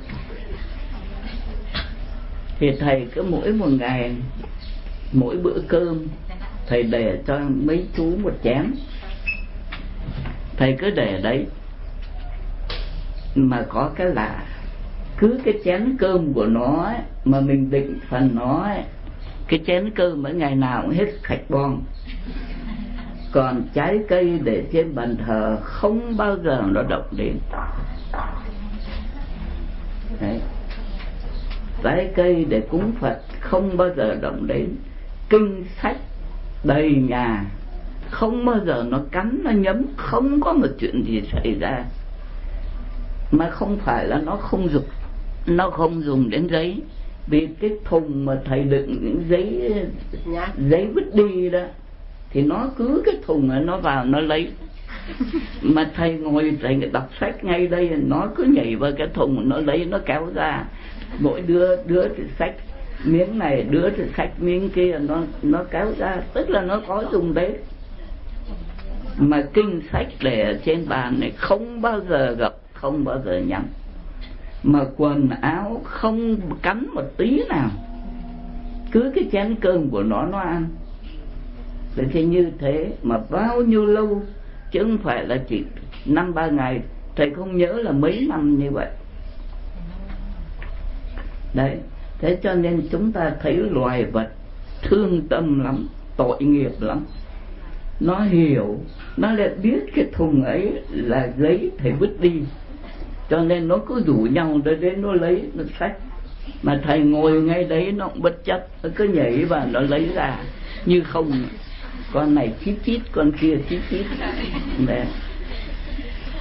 mà mà sách của thầy nó không lấy một tí nào. Thế rồi có một hôm, mà như thế mấy năm trời, mà trái cây của phật, thầy thờ trên bàn thờ nó không động đến. Chuối nên lại chuyện nó không động đến một tí nào cả. Đấy, chính thầy kinh nghiệm rõ ràng là loài vật nó có một cái kỷ luật rất kỹ, rất cẩn thận, mà nó biết mình. Nó hiểu rằng cái thùng giấy ấy là vứt đi thật ta thao lấy. Còn sách vào đây là cái cấm kỵ không được động tới. Và lại một chuyện nữa cái này nhiều trong chị em cũng đã biết. Hồi đó, cô Đức Thanh, cô ở Tỳ Kheo Ni, cô ở Sài Gòn. Một hôm, cô lên thăm thầy. Thế rồi, buổi sáng, cô lên thăm mấy hôm. Thế rồi buổi sáng hôm mấy cô kêu lên cô mang cái túi được y của cô ấy ra. Cô đưa cho thầy xem một nắm tiền. Mấy chú chuột nó cắn nó cắn nát bếp. Cắn không còn dùng được tí nào nữa. Nghĩa nó cắn nát bét một nắm tiền. Mà cái tiền ấy, cô ấy giấu, cô để ở trong ba tấm y. Mà ba tấm y để ở trong cái túi.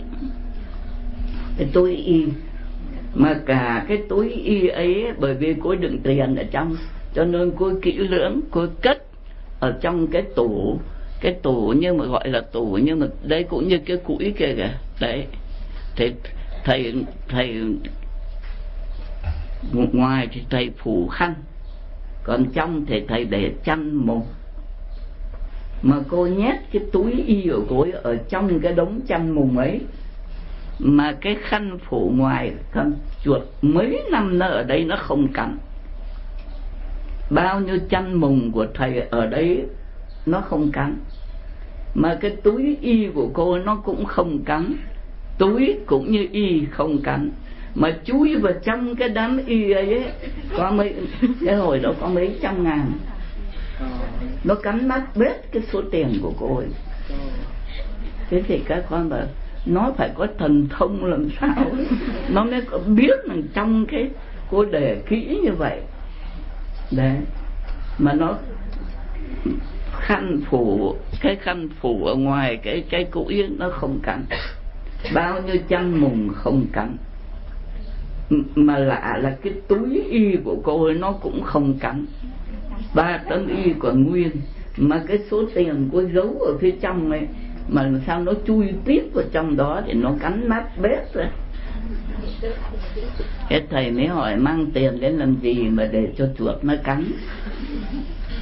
Thì cô ấy bảo, con, lúc bây giờ cô ấy ngạc nhiên quá, ngạc nhiên về mấy cái con chuột thế sao nó lại lạ như vậy? Cho nên cô thành thật cô nói thật với thầy rằng con định giấu thầy. Con định giấu thầy, con tậu miếng đất ở trên này, rồi con làm cái thất rồi. Con định xong cả rồi con xin thì thầy phải, thì xong cả rồi thì thầy phải cho. Còn bây giờ con định con lên con giấu thầy cho nên con không nói. Mà con cất đi. Thế thì tất cả chị em thấy rằng cái con chuột ấy nó còn giỏi hơn thầy nhiều. Nó biết cái cô ấy đã lén à, đã lén đã giấu. Mà thầy không chắc là trong này cái việc này thầy cũng không biết nữa. Tại chị em thấy này lén giấu định làm cái định mua đất để làm thật. Mà làm sao nó lại cắn nát cái số tiền tức là nó không hưởng ứng. Nó đồng ý với thầy không cho. nhưng mà chị em thấy loài vật, nó có một cái linh tính, nó có một cái trực giác, nó có cái hiểu biết, nhưng mà tổng quát lại, nghĩa là nó, cái cái cái đời sống của nó nhiều sự vất vả, nhọc nhằn, nhiều cái chướng ngại. Cho nên thật ra chúng ta phải, đối với loài người, chúng ta thương một phần mà đối với loài vật thì chúng ta phải thương gấp năm, gấp mười, bởi vì chúng nó nhiều cái cực khổ lắm. Thế cho nên thầy hôm nay thầy kể chuyện để thầy xin với tất cả chị em đã đừng có cái quan niệm đã đành là chúng chúng nó bê tha bẩn thỉu. Thì có vi trùng, cái đó có chứ không phải không? Nhưng mà chúng ta cũng nên tự sự có cái sạch sẽ của mình, cái vệ sinh của mình. Nhưng mà đừng vì thế mà chúng ta đối với chúng nó lạnh lùng, xa lánh, tội nghiệp. Này. chúng ta nên tận thành nên vâng theo như đức phổ hiền đây. Đấy, thầy lấy đức phổ hiền là một trong tất cả chư phật bồ tát thánh hiền. Không có một vị nào mà không thương xót loài vật. Ừ. Vậy thì chúng ta là con cháu chư phật. Chúng ta là đệ tử của các vị bồ tát. Thì chúng ta thay các ngài mà gần gũi thương xót chúng nó. Ừ. Thật là tội nghiệp lắm. Cho nên đối với các con chó, con mèo, con gà, con vịt, bất luận con chuồn châu chấu, con chuồn chuồn chị em tận tình thương xót. Vật gần nhất chúng mình là cái con chó, con mèo nó ở bên cạnh mình. Đấy. cho nên trông thấy nó thì vuốt nó một cái để cho nó biết là có người thương nó nó đỡ khổ cái thân nó. Và thứ nhất là mỗi lần trông thấy con chó hay con mèo nghe tiếng chó sủa, nghe tiếng mèo kêu thì phát tâm niệm phật cho nó một tiếng. Nè, cứ niệm niệm phật đi. Đấy, chúng ta thấy con chuột mà nó còn khôn như vậy, huống chi là đức quán thế âm, đức mười phương phật, các vị bồ tát. Thì chúng ta, những cái, đối với chúng nó, chúng ta kém, chúng ta không làm gì được, không giúp được cái gì. Thì chúng ta cứ cầu nguyện, cứ niệm đức quán thế âm, niệm đức đại thế chí bồ tát đặc biệt đức đại thế chí bồ tát, vô biên quang khí thân, là cốt để cứu cái tam đồ khổ, những chúng sinh đọa lạc. Cho nên chị em chịu khó niệm, đức đại thế chí bồ tát, đức quán thế âm bồ tát, đức địa tạng bồ tát, để cầu nguyện cho nó. Hệ cứ trông thấy, chúng nó kêu, trông thấy bóng chúng nó, hoặc nghe tiếng chúng nó kêu thì niệm lên một tiếng. Mình cứ niệm thầm ở trong tâm thôi. Niệm thế là đức quán thế âm, đức đại thế chí. Để nhờ mình có cái kết, cái duyên cho nó. Thì các ngài đại từ vi rồi. Nhưng mà chúng mình kết cái duyên cho chúng nó, thì chúng nó sẽ nương cái thần lực của ngôi tam bảo. Mà thoát cái thân đọa lạc để có cái duyên theo Phật rồi ngày mai nó cũng về cõi Phật. Chị em tin không? À, vậy thì bây giờ những vị nào phát tâm lấy vé về cực lạc đưa những cái bọn ấy tội nghiệp ấy đi về cõi Phật mấy con chuột mấy con mèo. Đây còn còn phát rồi thầy. à còn bên này là thầy một nửa rồi về thầy viết thêm thì còn thầy cứ xin tên nó tên cho nó thầy lấy tên của chúng hay cho họ. Cái kỳ thầy nhập thất ở vạn đức mà có con sâu róm là lúc đó thầy đang tu cái gì vậy thầy? Thầy thì chỉ có nam mô a di đà phật thì chứ có tu cái gì đâu. Chỉ có nam mô thì chẳng có gì chứ mình có tu cái gì mà sang trọng gì đâu. Cứ nam mô a di đà phật tu cái bà già nhà quê Thưa Phật con kính bạch thầy thì cho con thưa là thầy thấy nhiều sâu róm như vậy đó. Cái tâm thầy nó lên nó sợ thầy có niệm Phật hay thầy có cầu nguyện gì không mà nó Dạ. đi? Thầy cứ sợ thầy nôn nốt thì đã thì dĩ nhiên là thầy cũng nam mô thế nhưng mà nhưng mà lúc bây giờ là sợ. Thế mà nó thấu đáo được cái sợ của mình. Mà thầy cũng nghĩ cũng có bách thần khiến đó. Cho nên nửa đêm thầy dậy bật đèn để thấy là chúng nó đi hết. Ừ.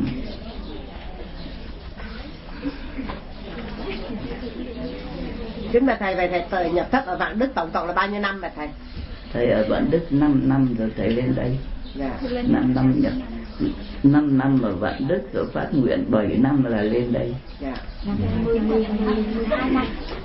Tức là thầy về liên hoa thôi thầy lên vạn đức. niệm phật đây ba bài. Chúng ta tới đâu nhỉ? Bây giờ nhĩ căn độc rượu dạ. Dạ thưa thầy sáu căn cũng thế à, mới có thấy tôi à, à. thì không có đọc cái bài phục nguyện như của chúng mình phục nguyện cho các tỳ kheo ni. Dạ mà bây giờ chị em chịu khó lấy cái giấy nháp ra ờ, thầy đọc rồi viết viết để đọc niệm phật hồi hướng gà vịt chó mèo. Ấy đấy mà chúng nó đưa mình về cực lạc đấy. Niệm phật hồi hướng gà vịt chó mèo bây giờ viết này. Nam mô đại bi quán thế âm bồ tát. Viết tắt thôi. Nam mô đại bi quán thế âm bồ tát. Nam mô đại lực đại thế chí bồ tát. Nam mô đại nguyện địa tạng vương bồ tát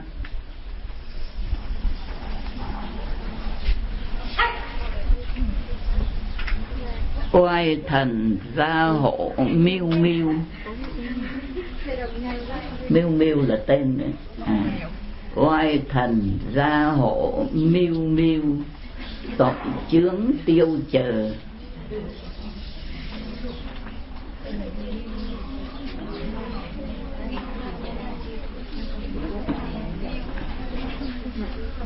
nghiệp báo tan không. Nghiệp báo tan không?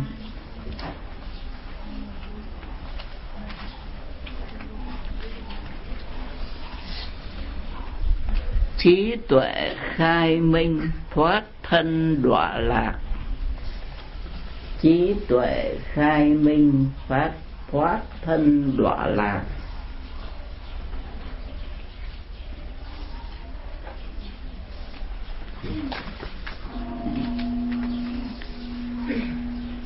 siêu sanh tịnh độ.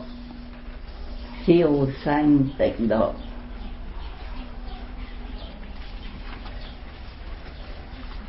Nam mô tiếp dẫn đạo sư a di đà phật thế thôi. Nam mô tiếp dẫn đạo sư a di đà phật thầy đọc lại. Thầy đọc lại từ đầu niệm phật hồi hướng chó mèo gà vịt. Nam mô đại bi quán thế âm bồ tát. Nam mô đại lực đại thế chí bồ tát. Nam mô đại nguyện địa tạng vương bồ tát. Oai thần ra hộ miêu miêu tội chướng tiêu trừ, nghiệp báo tan không, trí tuệ khai minh, thoát thân đọa lạc siêu sanh tịnh độ. Nam mô tiếp dẫn đạo sư a di đà phật.